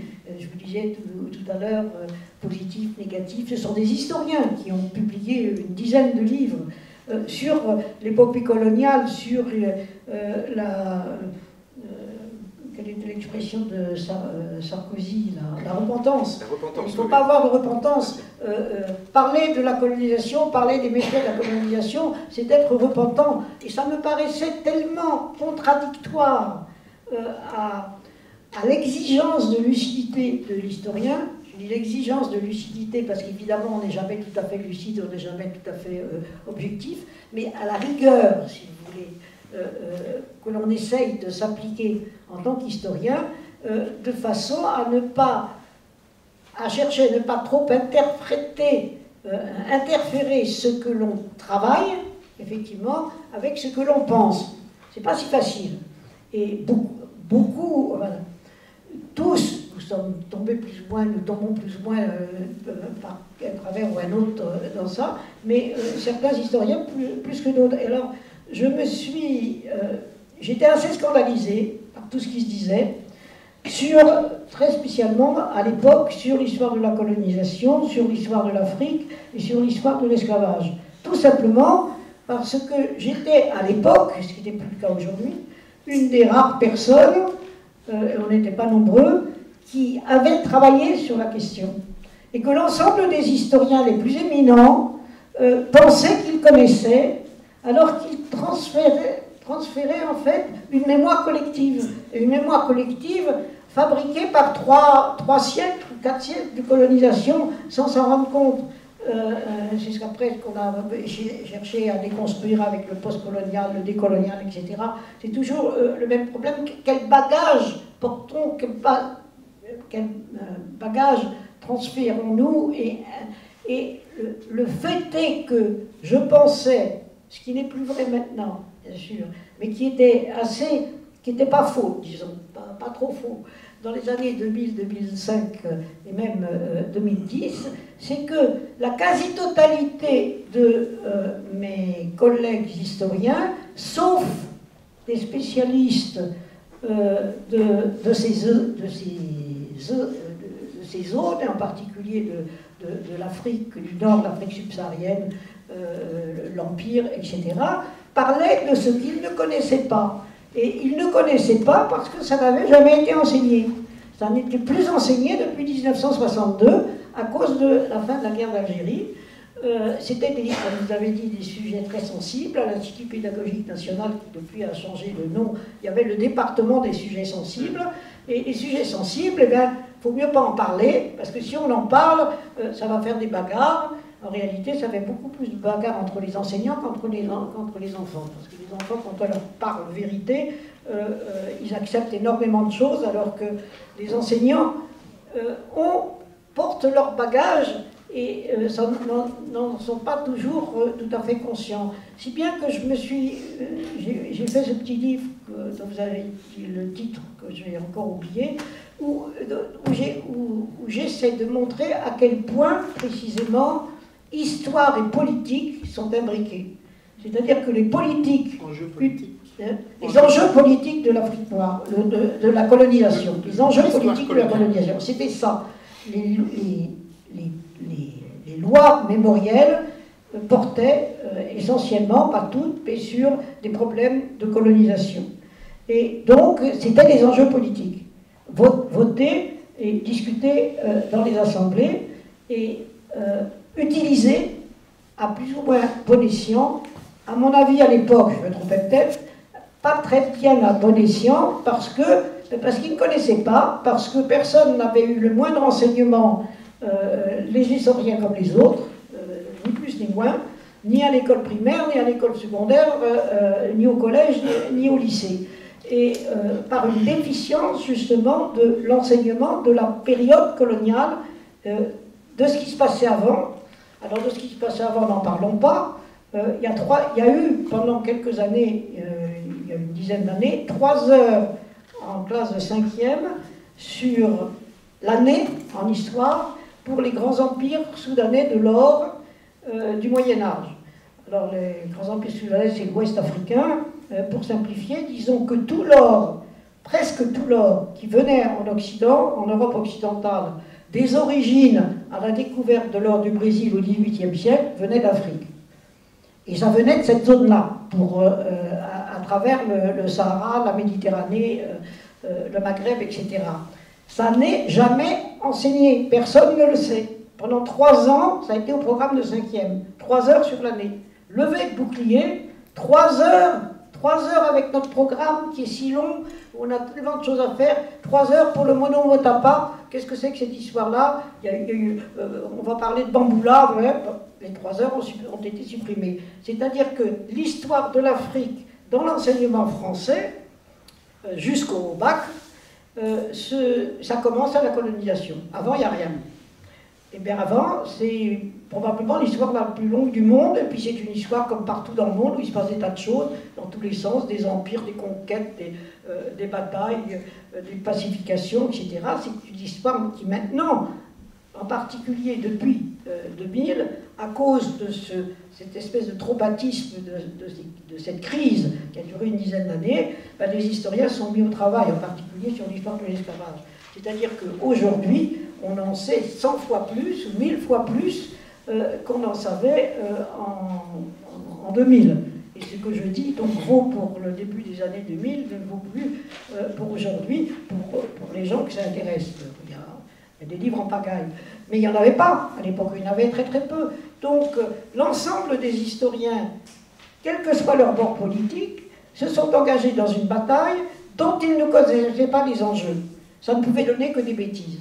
Et c'est pourquoi j'ai voulu euh, euh, refaire la, chronologie, si vous voulez, de ces dix années, pour comprendre comment ça s'était emmanché et pourquoi tant de faux problèmes avaient provoqué tant de querelles euh, à cette époque sur les lois mémoriales, justement. Euh, qui, étaient des lois à la fois importantes et effectivement parfois discutables, mais qui ont toutes été mises dans, dans le même panier, si bien qu'à la, limite, on en arrivait à, dire qu'il faut supprimer la loi Guesso, parce que la loi Guesso condamne les faits antisémites, et puisque c'est une loi mémorielle, il faut la supprimer aussi. Donc on arrivait, je veux dire, des gens compétents, conscient, euh, avec un bon sens politique euh, et historien de surcroît, arriver à, combattre pour des euh, idées stupides sans même s'en rendre compte. C'était, à mon avis, une, période très, très étrange. Et on, retrouve ce même genre de, de querelles extrêmes aujourd'hui sur d'autres questions du genre je le citais, subalterne CD, postcolonial, décolonial. Il y a beaucoup, beaucoup d'incompréhensions euh, qui sont dues essentiellement au fait, toujours le même, c'est que le savoir est insuffisant sur la question euh, et que euh, ça n'est toujours pas enseigné nulle part, sauf dans pas beaucoup d'universités et pas beaucoup d'enseignants, et que par conséquent, on vit toujours sur des idées reçues, et tant qu'on vit sur des idées reçues, on ne peut pas discuter sainement de questions politiques. Et euh, c'est pourquoi la mémoire et le politique sont complètement emmêlés, effectivement, et que, euh, et que ben, c'est très important. Ce que vous faites est très important. Alors, il nous reste euh, peu de temps qu'il nous reste euh, les 5, 7, 8 minutes. Euh, j'aurais aimé qu'on aborde euh, le, dernier point que nous révèle l'intrusion de la mémoire, cette soi-disant opposition entre histoire et mémoire, sur l'état de notre société face à son passé colonial et post-colonial. Alors, c'était plutôt un parti pris pour effectivement se rapprocher aussi de l'injustice, ce que nous, antisémitisme, on considère comme une injustice faite aux enfants issus des personnes venus d'Afrique, euh, installés en France, et qui ne connaissent pas euh, l'histoire euh, coloniale alors que c'est l'histoire de leurs arrière-grands-parents, de leurs grands-pères parfois aussi, avec notamment tout ce qui a pu se faire autour de la Première Guerre mondiale, de l'oubli qu'il y a eu ensuite. Toute cette histoire coloniale et post-coloniale, on est là aussi dans une injustice de la mémoire face aux enfants qui aujourd'hui, eh bien, en France, même après trois ou quatre ou cinq générations, eh bien, réclame une vérité euh, sur la réalité. C'est euh, Black Lives Matter, c'est euh, le cran lorsqu'il s'est formé, etc. C'est beaucoup de choses hein, dont on entend aujourd'hui sur lesquelles on peut être ou ne pas être d'accord, des boulonnages, etc. comment effectivement eh bien, il n'y a pas de dualité entre la mémoire qui leur est donnée et puis l'histoire en elle-même et comment on peut améliorer ça? Parce qu'on sait qu'aujourd'hui, et vous l'avez dit hein, tous les deux, les livres d'histoire et les manuels d'histoire eh bien, ne reflètent pas une vérité. Hmm. Alors, il y a évidemment plusieurs choses euh, qu'on peut dire. sur cette, sur cette question-là. Je vais la prendre par différents biais. Bon, déjà, moi, j'ai plutôt envie d'être euh, optimiste, même inquiet, mais puisque euh, Catherine en parlait, euh, la, transmission, enfin la production scientifique sur le, colonial et notamment sur l'esclavage en 20 ans, a considérablement évolué dans le bon sens. Et vraiment, enfin, c'est incomparable. C'est vraiment incomparable à travers euh, des centres de recherche, le CIRESC, des publications, les vôtres, et, plein d'autres, des prix de thèse. Enfin, il y a quand même un mouvement qui est enclenché. Ça, c'est très clair, et on ne le voit pas s'arrêter. Le domaine scolaire, c'est un peu plus complexe. C'est un peu plus complexe parce que, bon, c'est l'un de mes chantiers hein, de, recherche, on voit qu'il ce n'est pas forcément linéaire. C'est-à-dire que vous avez les programmes scolaires qui intègrent l'esclavage à l'école primaire en 2002, au collège en 2008, au lycée un petit peu mais pas trop, jusqu'en 2019.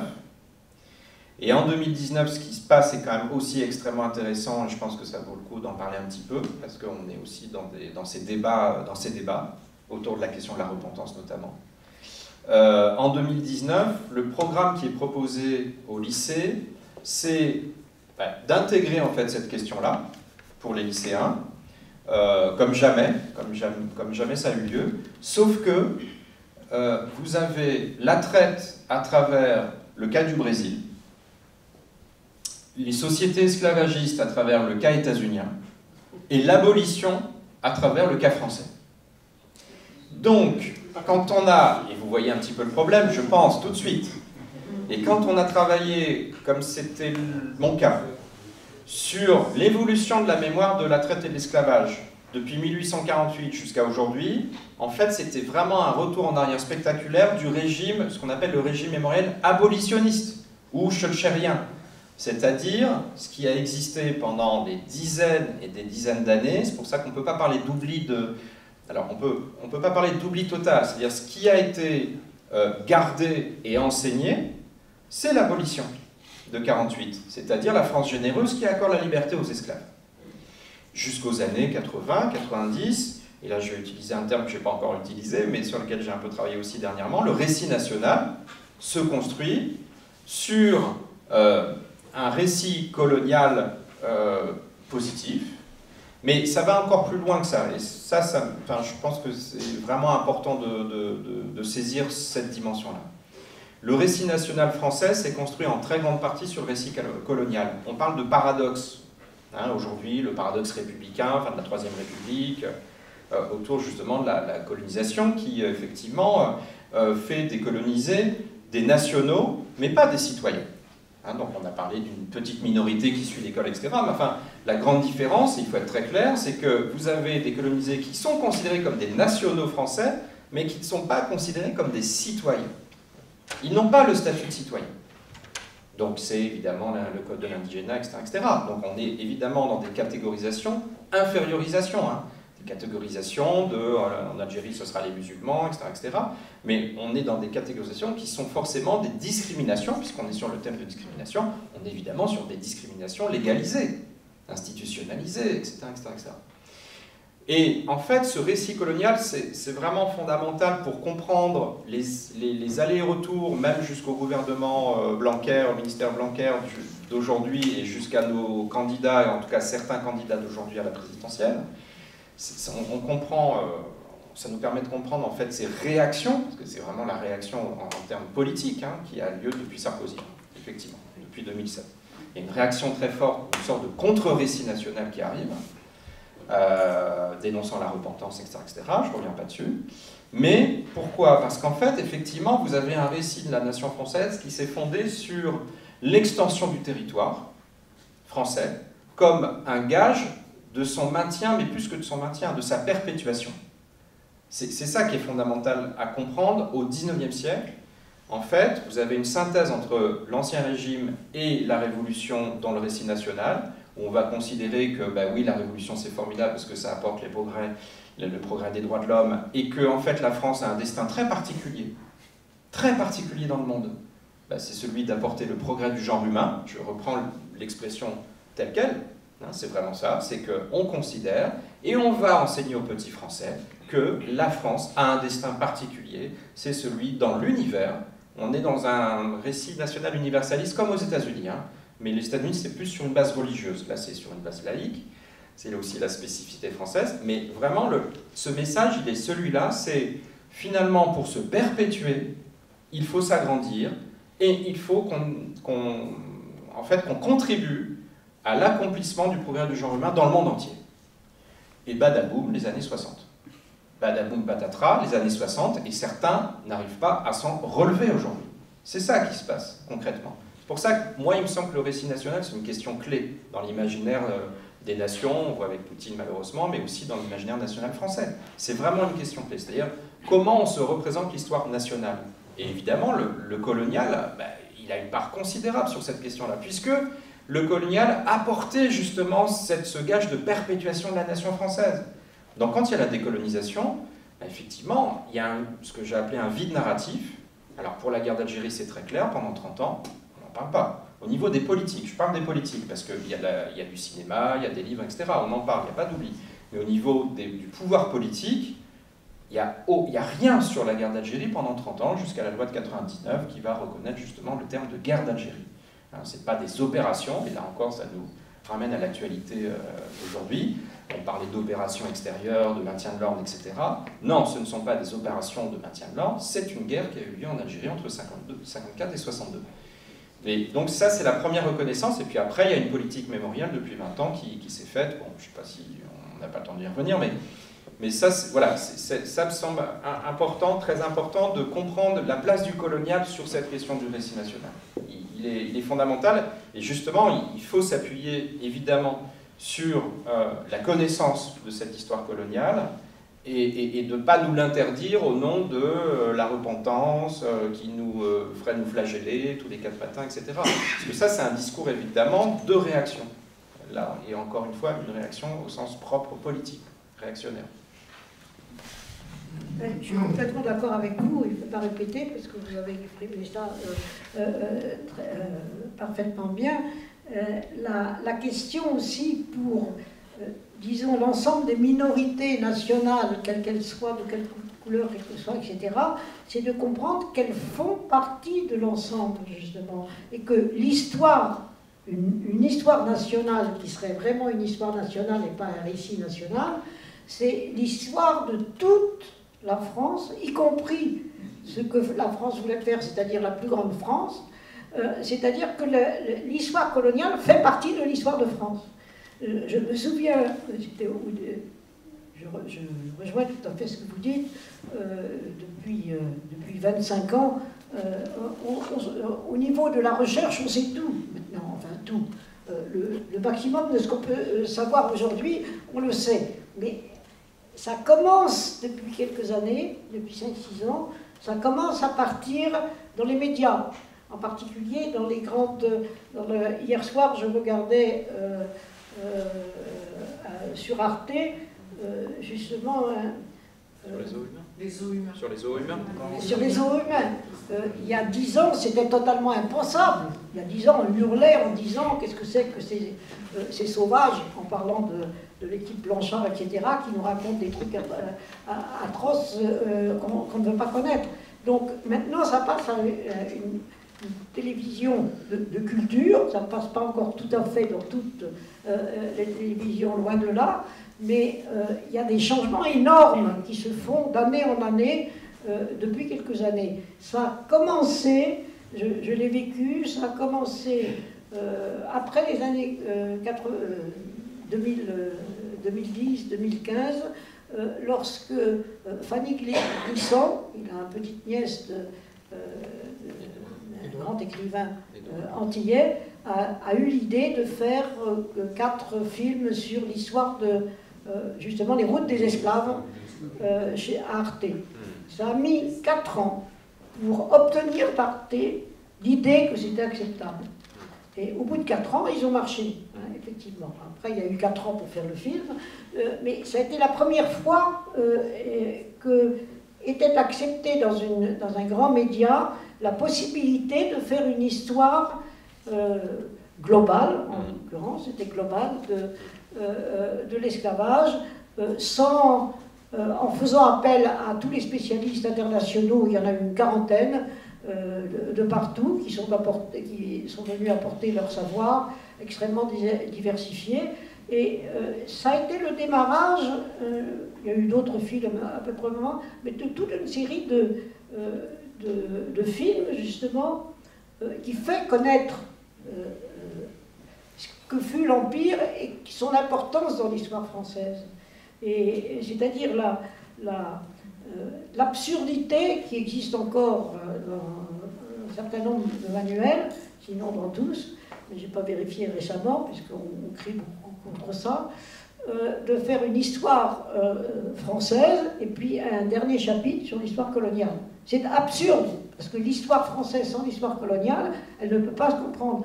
Euh, je prends un exemple très simple et je vais m'arrêter là-dessus. la quatrième République, la quatrième République, l'histoire politique de la quatrième République sans faire de l'histoire de la colonisation, mais on ne peut rien comprendre, parce qu'elle s'ouvre avec la guerre d'Indochine, elle se termine avec la guerre d'Algérie.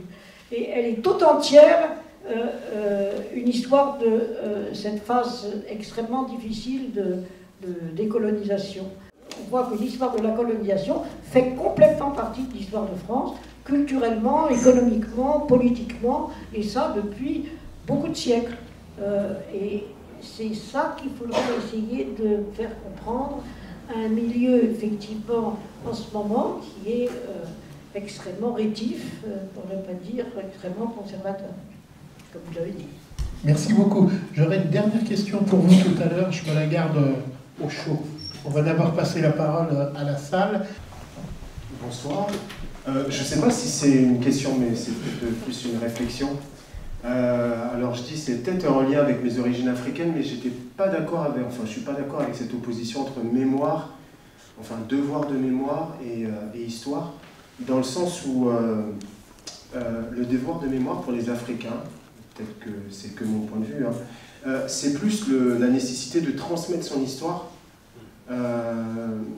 pour qu'elle vive à travers les siècles, et que je pense que ce, terme devoir de mémoire est plus un terme occidental qui vise à, comment dire, à, euh, pourquoi pas dire ce que j'ai noté, à appréhender son histoire, euh, même la plus, la plus obscure. Euh, c'était une réflexion plus qu'une question, mais ça m'a amené à réfléchir dans ce sens-là. En fait, euh, ce que vous dites euh, a, été euh, évoqué, j'en parlais tout à l'heure, hein, du philosophe Paul Ricoeur, a été évoqué exactement dans ces termes-là. C'est-à-dire que quand il défendait le terme de devoir de mémoire, il l'associait à un devoir de transmission intergénérationnelle d'une histoire. Et il prenait l'exemple, en fait, puisque vous parlez de langue, il prenait l'exemple, puisque dans différentes sociétés, en fait, vous parlez de, l'Afrique pour vous, mais dans différentes sociétés, vous avez cette injonction à raconter, à transmettre une histoire, et il, utilisait le terme de Zaror, souviens-toi, euh, chez les Juifs, où il y a toute cette tradition de transmission depuis l'Antiquité d'une histoire qui, qui, est millénaire. Donc, euh, moi, je suis tout à fait d'accord. C'est une vous savez, le devoir mémoire, il est polysémique. Hein. C'est-à-dire qu'effectivement, euh, bon, euh, en l'étudiant pendant des années et des années, on se rend compte que bah, selon les usages, il veut dire ceci, il veut dire cela, etc. Et j'en rajouterai un troisième, parce que j'en ai, pas eu le temps de l'évoquer tout à l'heure, mais il faut savoir que le tournant de devoir de mémoire qui est là, un petit peu flottant dans certains discours, dans les années 70-80, puisque en fait, j'ai pas retrouvé d'occurrence avant les années 70. Hein. Euh, le tournant de ce terme-là, c'est fin 80, début 90, contre le discours négationniste. Et en fait, le devoir de mémoire, au départ, alors c'est des politiques, c'est aussi euh, des, acteurs sociaux, mais c'est aussi des politiques, comme je prends un exemple, c'est Michel Noir que j'ai euh, relevé comme l'un des locuteurs politiques dans les premiers qui ont utilisé ce terme. Et Michel Noir, il s'est fait connaître à la fin des années 80 comme maire de Lyon pour lutter justement contre le, négationnisme et le discours négationniste qui était même dans l'université Lyon 2. Euh, donc, en fait, il est associé à Lyon, 3. Lyon 3. Lyon 3. Merci. Et donc, le devoir de mémoire, à ce moment-là, il est associé à un devoir de vérité. Et vous avez quelqu'un d'autre comme Robert Badinter qui parle en ces termes-là à cette époque-là. Devoir de mémoire, c'est un devoir de vérité par rapport à ceux justement qui assassinent cette mémoire. Et je reprends assassinent euh, cette mémoire, le terme de Pierre Vidal-Naquet évidemment, qui parlait des assassins de la mémoire euh, pour désigner les, négationnistes, hein. ceux qui niaient l'existence des chambres à gaz et donc ceux qui niaient évidemment la, Shoah. Voilà, donc vous voyez, enfin, on peut on peut multiplier en fait les, sens euh, historiques successifs qui, ont été donnés à ce terme. qui veut prendre la parole? J'ai deux personnes.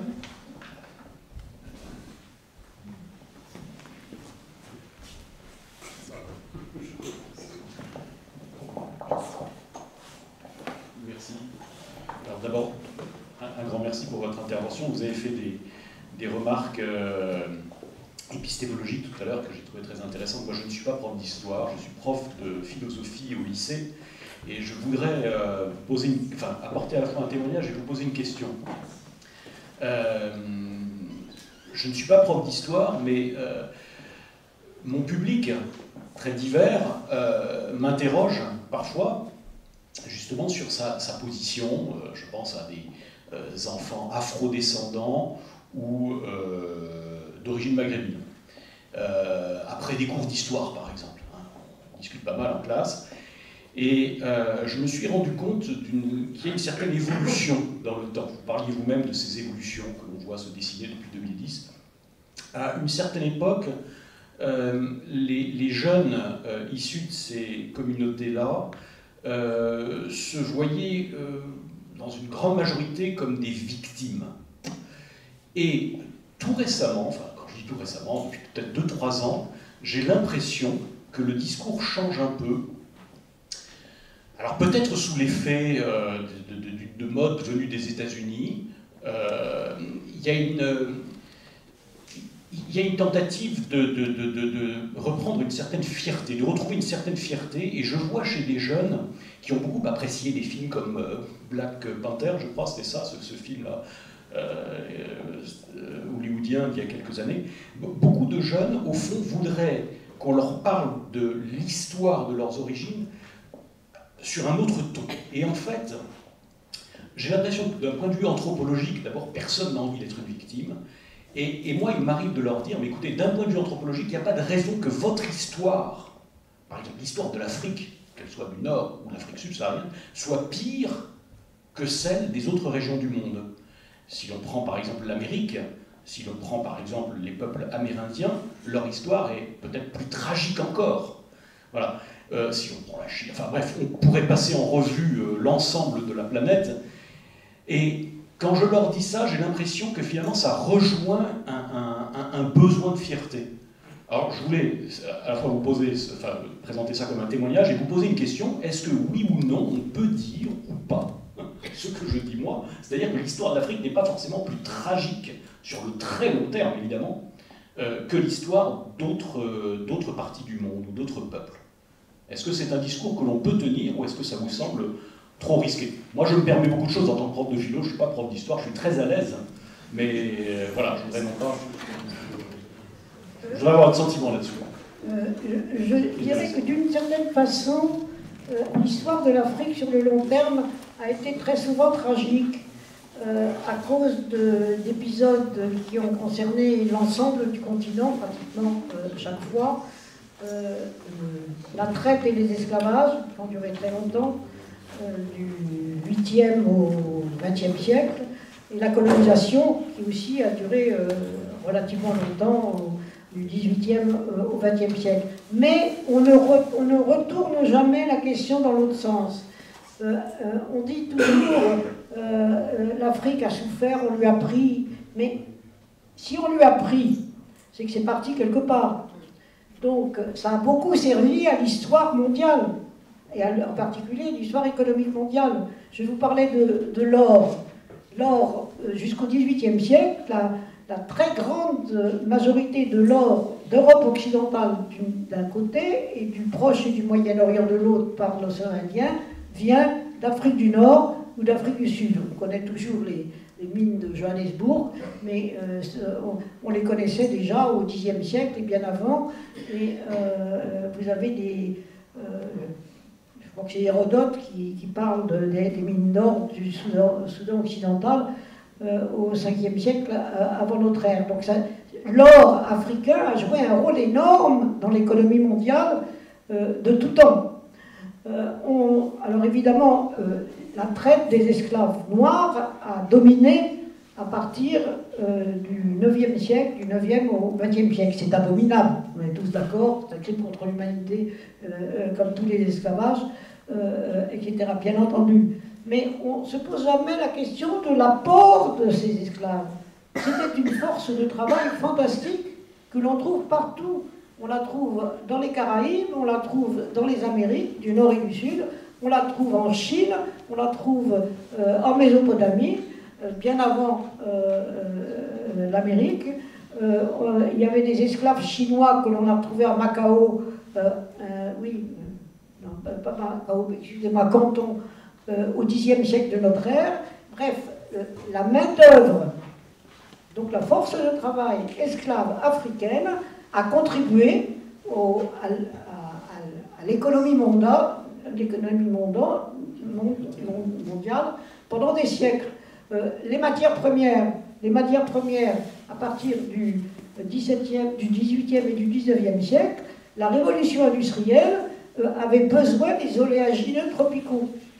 Et comme le nom l'indique, les oléagineux tropicaux, ça n'existe pas dans le monde tempéré. Euh, ça existait l'huile de palme, l'arachide, ça existait en Inde et ça existait en Afrique. Et donc les, les oléagineux tropicaux étaient fondamentaux pour huiler les machines, pour éclairer, pour faire les chandelles, les chandelles etc., pour faire les 3-8. Euh, donc, étaient euh, euh, exigés pour la révolution industrielle occidentale. Et le pétrole au XXe siècle, on peut continuer, etc. Alors, si on retourne, on s'aperçoit qu'à partir du moment où on envisage une économie mondiale, une histoire mondiale de l'économie, le rôle de l'Afrique a été absolument essentiel. Ni plus ni moins que les autres continents, euh, mais euh, euh, en tous les cas pas moins que les autres. Et cette histoire-là, elle n'est absolument pas enseignée. Les, esclaves sont cueillis, sur les ports de l'Atlantique, on ne sait pas d'où ils viennent. L'or, ben, à l'arrivée, on ne sait pas trop d'où, etc. etc. C'est-à-dire que euh, la restitution des réalités historiques africaines, elle, fait partie à la fois des malheurs de l'Afrique, mais aussi de, euh, son rôle essentiel dans l'histoire du monde. Et je pense que euh, quand on explique ça aux enfants, ils sont très contents. Je vais vous donner deux anecdotes, parce qu'à partir de, 2000, les enseignants devaient parler d'esclavage, de la traite. Et ils ne savaient rien sur la question. Ils demandaient aux quelques spécialistes il m'est arrivé assez souvent de faire une conférence d'une heure ou deux heures à des terminales, à des, à amphis, le gymnase rempli euh, de terminales, de lycées professionnels, euh, euh, réputés difficiles. Passionnés, ils sont. Passionnés qu'on leur apprenne leur histoire. Alors, avec des anecdotes, par exemple, c'est un élève de, de, première, je pense, un, grand costaud, très noir énergique, qui s'approche de moi et qui me dit au démarrage, Madame, vous ne devriez pas être ici pour nous enseigner l'esclavage. Évidemment, j'étais blanche, la majorité était noire ou, d'autres couleurs. Euh, je lui ai dit, écoutez, euh, je suis là, on m'a demandé de le faire, je vais faire mon cours et puis on verra, on verra euh, la suite. Et à la fin du cours, il est venu me dire, Madame, il faut reconnaître que vous avez de la largeur d'esprit. C'est-à-dire que ça avait marché. Ça avait marché parce que je, parce que je leur avais dit la vérité. Euh, j'avais pas été larmoyante du tout, mais je leur avais raconté des choses qui les intéressaient. Ou dans un lycée professionnel où je vous disais euh, le gymnase rempli euh, d'élèves, moi disant au proviseur qu'est-ce qu'ils sont sages, vos élèves? Et le proviseur avec un petit sourire disant ben, ça dépend ce qu'on leur enseigne. C'est-à-dire que les enfants sont très réceptifs à une histoire qui leur parle de tout et pas seulement d'eux-mêmes, mais aussi d'eux-mêmes, bien entendu. Et ça, c'est évidemment, il euh, faudrait expliquer ça à M. Blanquer, mais je crois qu'il n'est pas capable de le comprendre. On va attendre. On va attendre. On va attendre. Euh, si je peux ajouter quelque chose, je, vais commencer par euh, là aussi une petite anecdote personnelle. En tout cas, merci pour cette question parce qu'elle soulève un enjeu considérable. Moi, j'y suis extrêmement sensible C'est ce que j'ai écrit aussi dans mon dernier chapitre sur la nation en récit, la dimension victimaire et comment dépasser la dimension victimaire de, des récits nationaux, mais aussi de la mise en histoire, en fait, hein, scientifique. Euh, l'anecdote, la voici, en fait, euh, euh, j'avais repris, j'étais prof de secondaire, j'avais repris donc des recherches au sein de l'INRP, à cette époque-là, ça s'appelait comme ça, l'Institut national de recherche pédagogique, sur la question de l'enseignement de l'esclavage. Et donc on était entre 2006 et 2010, l'une de, mes attributions, c'était d'aller observer des classes. au fond de la classe, et je regardais comment ça se passait. Donc j'en ai fait plusieurs, c'était en région parisienne pour moi. Euh, et donc, euh, un jour, euh, je tombe sur une classe de CM1 avec une enseignante qui donc enseigne cette, cette histoire-là, qui enseigne bah, très rapidement, parce que c'est les programmes et voilà, il faut aller vite, hein, on est en CM1, qui enseigne la traite, en parlant d'échanges d'armes effectués par les Européens, mais sans parler des destinataires, bah, qui sont des Africains.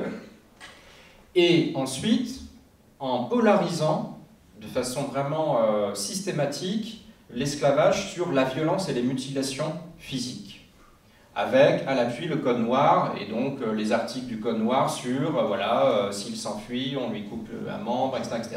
Et donc ce n'était que ça, que ça. Réaction des élèves. évidemment, je précise que ces élèves-là, en ZEP, comme on dit, hein, zone d'éducation prioritaire, étaient à 80% noirs d'origine soit antillaise, soit africaine.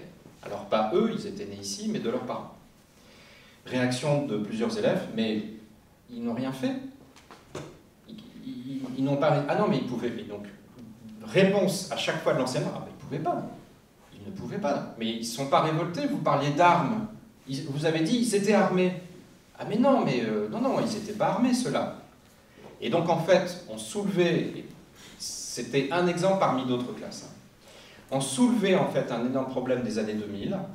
Effectivement, on a introduit ce programme-là euh, sans acquis historique, scientifique, parce qu'on connaissait très peu de choses, parce que les enseignants étaient très très peu formés dans leur cursus, et même des profs qui avaient fait des études supérieures n'avaient pas rencontré cette, histoire-là. Ils ne l'avaient jamais rencontrée.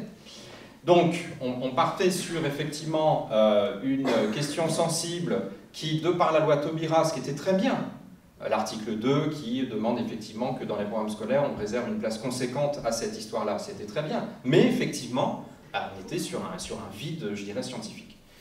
Alors, l'un des enjeux, ça a été celui-là, et je pense que c'est celui-là euh, pour la FME aujourd'hui, puisque je travaille un petit peu avec eux et que je suis intervenu hier et j'interviendrai vendredi à Toulouse euh, sur la, en formant des enseignants. L'un des enjeux, c'est ça c'est vraiment de mettre en avant, de sortir d'un schéma victimaire, et évidemment de mettre en avant l'histoire mondiale, mais aussi de mettre en avant l'histoire des résistances, euh, l'histoire des révoltes, qui n'a pas du tout été perçue comme ça dans les années 2000. Dans les années 2000, on était dans un cadre un peu juridique du crime contre l'humanité, c'est vrai.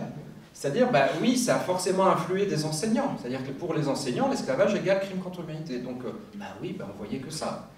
Et là, il y a un effort qui a été fait historiographiquement aussi, puisque vous avez des livres qui, enfin, pas des livres, pardon, mais des, historiennes et des historiens qui ont travaillé sur cette question des résistances. Et euh, bah, les routes de l'esclavage en parlent aussi. Euh, en parle aussi, évidemment, quand il euh, fait son euh, à bord du négrier. Il, parle des révoltes sur, sur les bateaux même. Donc, pour dire quoi? Pour dire qu'effectivement, c'est fondamental de faire transmettre cette histoire-là parce qu'elle est vraie, parce qu'elle est juste, et en plus parce qu'effectivement, il y a un levier. Il y a un levier pour les, pour les élèves, et moi j'y suis extrêmement sensible. Euh, alors d'identification, j'en sais rien, mais en tout cas, il y a un, levier beaucoup plus, euh, euh, je dirais, éducatif aussi, de mettre en avant toutes ces résistances qui ont eu lieu, en passant évidemment par la révolution de Saint-Domingue de 1791, qui n'est pas assez enseignée et qui a une place centrale. La Révolution de Saint-Domingue, c'est central. Mais au-delà de l'histoire de, France, d'ailleurs. C'est vraiment un événement central. Donc euh, voilà, moi je, trouve qu'effectivement il y a, des choses à faire. Et euh, on a fait une exposition avec la FME, donc euh, qui je passerai peut-être, je me le permets parce que c'est avec la FME, donc vous êtes partenaire. On a fait une exposition avec Aurélia Michel et Dominique Rogers l'an dernier. Euh, c'est notre histoire, et on, met en avant aussi cette dimension-là. Hein, d'une histoire incarnée, mais aussi de lutte, de résistance, mais aussi évidemment des violences, parce qu'il ne faut pas non plus édulcorer évidemment toutes ces violences-là. Donc ça, je pense que c'est l'un des enjeux à venir. Merci beaucoup. On avait une question. bonjour, Peter Lema, je suis co-initiateur du Cercle du Marronnage et membre du Mouvement international pour les réparations. Euh, bonjour à vous deux. Je tenais absolument à participer, à assister à cette conférence et je sais que c'était programmé dans le cadre de l'humain d'abord euh, et que ça a été déplacé. C'était euh, dans le cadre des manifestations qu'il y avait au château. Donc nous y avons aussi participé. Donc je vais juste vous compléter un petit peu par rapport à 2005, hein, vite fait, comme ça.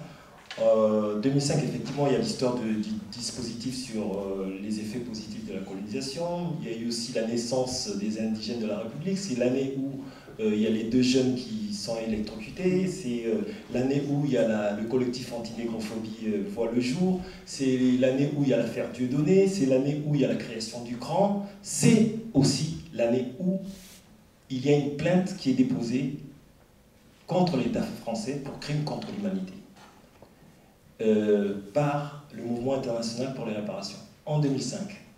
Et après 20 ans, 15 euh, ans de procédure, toutes les juridictions rejettent et récemment, 2020, c'est la Cour européenne des droits de l'homme qui demande à la France de rouvrir le dossier. Le dernier chapitre s'est passé le 12 octobre. Mais curieusement, aucune trace, parce que la conciliation entre la question de la mémoire, de l'histoire et, de la justice n'est pas encore à l'ordre du jour. Étant donné que ce n'est pas à l'ordre du jour, il y en a d'autres qui, continuent à travailler dans ce sens parce qu'ils estiment qu'une loi, comme la loi Taubira, ne peut pas être essentiellement une loi mémorielle. Et en fait, au moment où je parle, j'aimerais vraiment que vous excusiez mon émotion parce que je ne suis pas historien. Et donc, quand je parle de cette histoire, ça me prend un peu dans les tripes.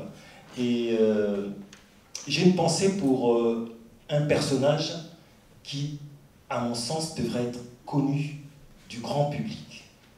Et je m'interroge, pourquoi les historiens qui connaissent bien ce personnage font silence sur les luttes menées par ce personnage. Ce n'est pas un noir, parce que très souvent on dit que ce sont des actions afrocentriques, euh, afrocentriques, euh, on veut relever, c'est des noirs qui ont fait ça, c'est des noirs qui ont résisté, il y a des résistances partout. Et là, je vous parle de quelqu'un qui s'appelle Épiphane de Moiran. C'est un moine qui est envoyé pour évangéliser les Noirs à Cuba. Il est accompagné par, avec son confrère qui s'appelle Francisco José de Jaca, qui arrive à Cuba, et quand il constate l'horreur du crime, il demande que ça s'arrête en menant des actions jusqu'à la cour royale, quand même. Hein. Ils ont mené un certain nombre d'actions. Euh, et ils exigent réparation. Et ça, ça se passe en 1682. Ça veut dire trois ans avant l'exhumation du Code Noir. Le professeur Salamolins, que vous connaissez très bien, qui a fait connaître, qui a en tout cas mis euh, à jour euh, au grand public, a sorti un ouvrage, Esclavage-Réparation, qui retrace justement euh, le, parcours de ces deux moines, dit, et ça c'est avéré, on a fait des recherches là-dessus, que l'équivalent du CNRS français en Espagne a mis à disposition les les mémoires de ces moines. C'est quand même curieux qu'en France, on fait, en fait, on zappe ces personnages qui, à mon sens, comme Épiphane de Moiran, français, est un personnage plus lumineux qu'un Colbert qui est devant le Parlement ou que Napoléon qui est sur la place Napoléon à La Roche-sur-Yon. Je vais finir par un dernier point. Il y a eu un film l'année dernière où il y a deux ans, produit par Pascal Blanchard, euh, où il y a un volet sur la question de, de Et vous étiez conseillère histoire de ce film. Et il y a un passage sur l'embarquement justement des tirailleurs qui qui n'est pas une bonne date. Je sais pas si j'espère qu'on se comprend en fait. Hein. Il y a une question de datation par rapport au moment où ces tirailleurs ont été, euh, ont quitté Morlaix pour aller jusqu'à Tiaroy.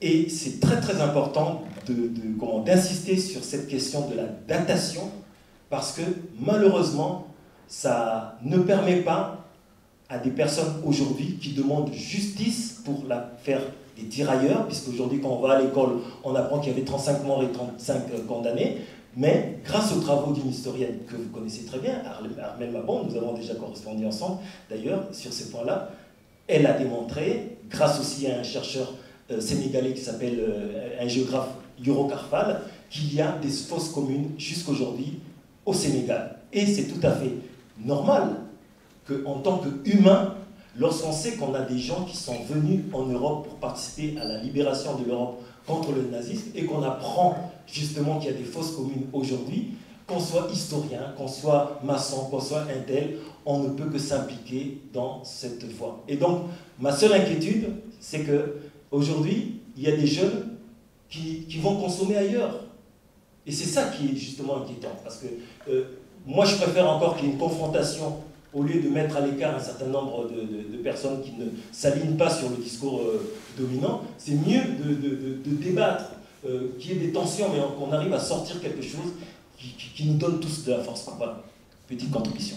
Merci beaucoup. C'est un, éclairage, euh, à mon avis, qui peut être critique ou pas. On ne va pas pouvoir le faire ce soir, vous le comprenez bien, ça mettrait beaucoup de temps. J'ai une dernière toute petite pour monsieur.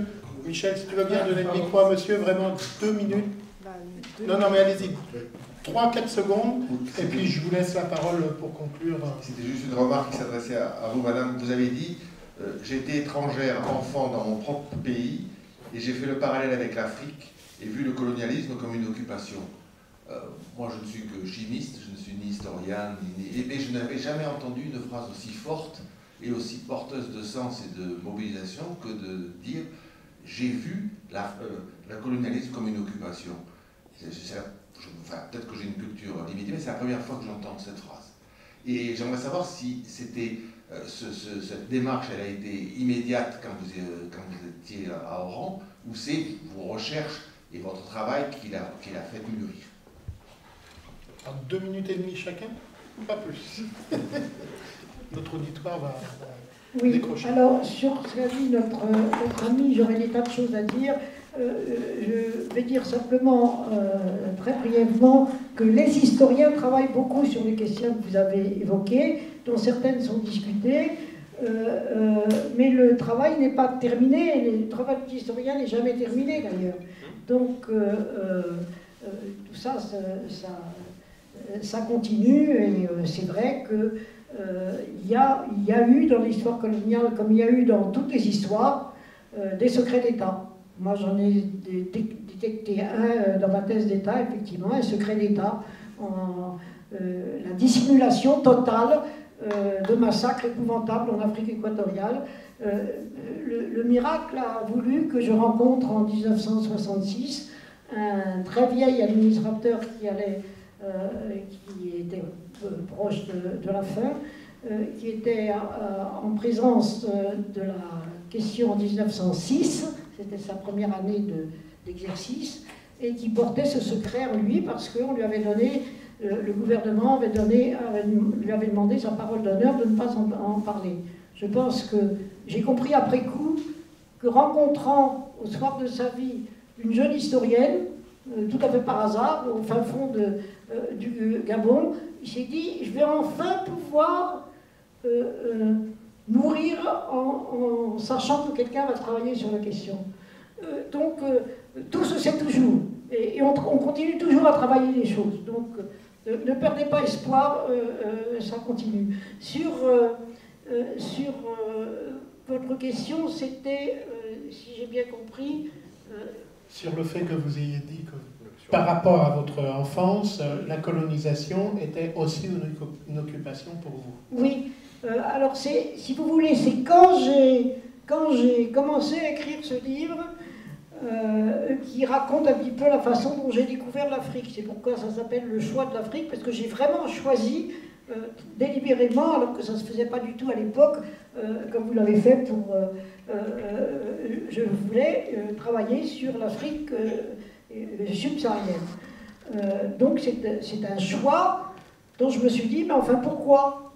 Pourquoi? Parce que j'ai jamais eu dans mes ancêtres un administrateur colonial, euh, je suis jamais allé en Afrique. Euh, euh, bon, c'était à la fois idéologique et politique, comme j'ai dit, par la guerre d'Algérie, mais j'ai réfléchi euh, justement en voulant écrire, au début, c'était au début des années 2000, je voulais raconter mon enfance pour le faire connaître à, mes descendants. Ma mère, j'avais la chance que ma mère, qui nous a sauvés complètement et qui était une femme tout à fait extraordinaire, euh, elle avait 94 ans à ce moment-là, mais j'ai pu encore lui, montrer quelques pages que j'avais écrites. Elle les a corrigées, euh, parce que j'avais fait quelques erreurs, euh, etc. Et, et, elle avait beaucoup complété, évidemment, toutes mes, mes, connaissances. Donc c'est à, partir de là que je me suis dit, effectivement, toute ma volonté pour travailler sur l'Afrique, ça s'explique peut-être par beaucoup de choses, y compris par, cette enfance. C'est une idée qui m'est arrivée tardivement, tardivement, mais euh, euh, que j'ai retrouvée à, euh, à, Oran, justement. Je pense que ça a été très important, mon passage à Oran. D'une part parce que j'ai découvert la colonisation en train de finir, et d'autre part parce que j'ai retrouvé l'atmosphère que j'avais connue dans mon enfance, c'est-à-dire la clandestinité, la résistance, il se passait des choses. Euh, personne ne parlait, mais euh, tout le monde euh, le savait plus ou moins. Et je me suis dit, tiens, j'ai déjà connu ça. Alors ce n'était pas du tout, du tout la même chose, mais c'est à ce moment-là que j'ai eu l'idée, effectivement, que ça avait joué dans, dans, mon, choix de travail, disons, scientifique par ailleurs. ceci dit, ça n'a pas joué autrement que simplement une idée, un souvenir, et et, disons quand même euh, euh, l'apprentissage qui, m'a beaucoup aidé, l'apprentissage dans mon enfance, euh, de me taire, moins je parlais, mieux ça valait, et d'observer. Et ça, je l'ai beaucoup mis en pratique, je dirais, sur le terrain africain. quand j'étais en Afrique, je disais, je, suis comme une éponge. J'absorbe tout, je parle peu, parce que moi je ne sais pas grand-chose, j'obtiens, j'entends des tas de choses et tout ça reprendra sa place dans, ma recherche. Et, je pense que, euh, effectivement, la, personnalité du chercheur, de la chercheuse, est très importante dans, le choix du sujet. Euh, euh, j'ai fait de la psychologie de cuisine, hein, j'ai fait ma, petite interprétation qui est peut-être de l'imagination, mais qui m'aide à comprendre effectivement pourquoi euh, j'ai fait ce genre de recherche et dans quel esprit. Mais, avec effectivement une exigence, une très forte exigence d'observation euh, euh, attentive et absorbante pour comprendre les autres, parce que quand même c'est une histoire différente, c'est des cultures différentes, il faut faut être très réceptif pour euh, saisir un certain nombre de nuances. Et je suis toujours étonnée de voir que, y compris chez mes collègues africanistes, quelquefois je sens des nuances qu'ils ne sentent pas, euh, que j'attribue effectivement à ma propre formation. Mais je ne dirai pas plus, parce que le reste, c'est, le reste, c'est du travail, c'est des archives, c'est des recherches, etc.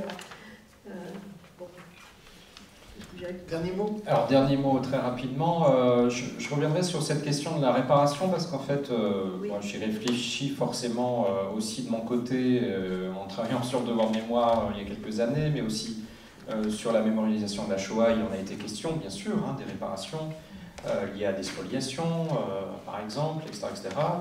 Euh, et ça continue encore. Et donc, euh, les étudiants de Sciences Po que j'ai euh, quand j'enseigne la question de l'esclavage, l'histoire, mémoire de l'esclavage, sont aussi très sensibles sur cette question des réparations. alors, moi, je, ne, je, ne, balaye pas d'un revers de main, évidemment, cette dimension-là de, de, justice liée à, des crimes commis dans le passé. Mais je, trouve qu'il y a aussi une réparation. je reprends une, réflexion d'une philosophe algérienne, j'ai oublié le nom, je suis désolé, mais en fait, je pense aussi que la réparation passe par le présent, c'est-à-dire par la modification des rapports sociaux, euh, liés à la discrimination bien sûr, euh, par une mise au clair de nos imaginaires coloniaux au présent, euh, qui amènent et qui doivent amener justement une modification des rapports du politique, on en a parlé je ne sais combien de fois aussi, du politique, des forces de l'ordre, etc., etc., etc. Pour moi, la réparation, elle se joue aussi là. C'est-à-dire que ce que j'ai vu aussi des politiques liées à la guerre d'Algérie, et c'est exactement la réflexion de Sylvie Thénault et Raphaël Branche, c'est dire, bon, d'accord, ok, il y a eu des politiques de reconnaissance depuis 2-3 ans, mais il y a aussi du racisme quand même en France qui est vécu dans des expériences sociales concrètes par des descendants d'Algériens. Et c'est ça aussi qu'il faut regarder. Donc il faut aussi, moi j'ai tendance, en travaillant depuis des années sur les politiques mémorielles, des fois à me méfier d'une instrumentalisation par le politique des politiques de reconnaissance qui, finalement, à peu de frais, disent bah, c'est bon, on a fait ce qu'il fallait.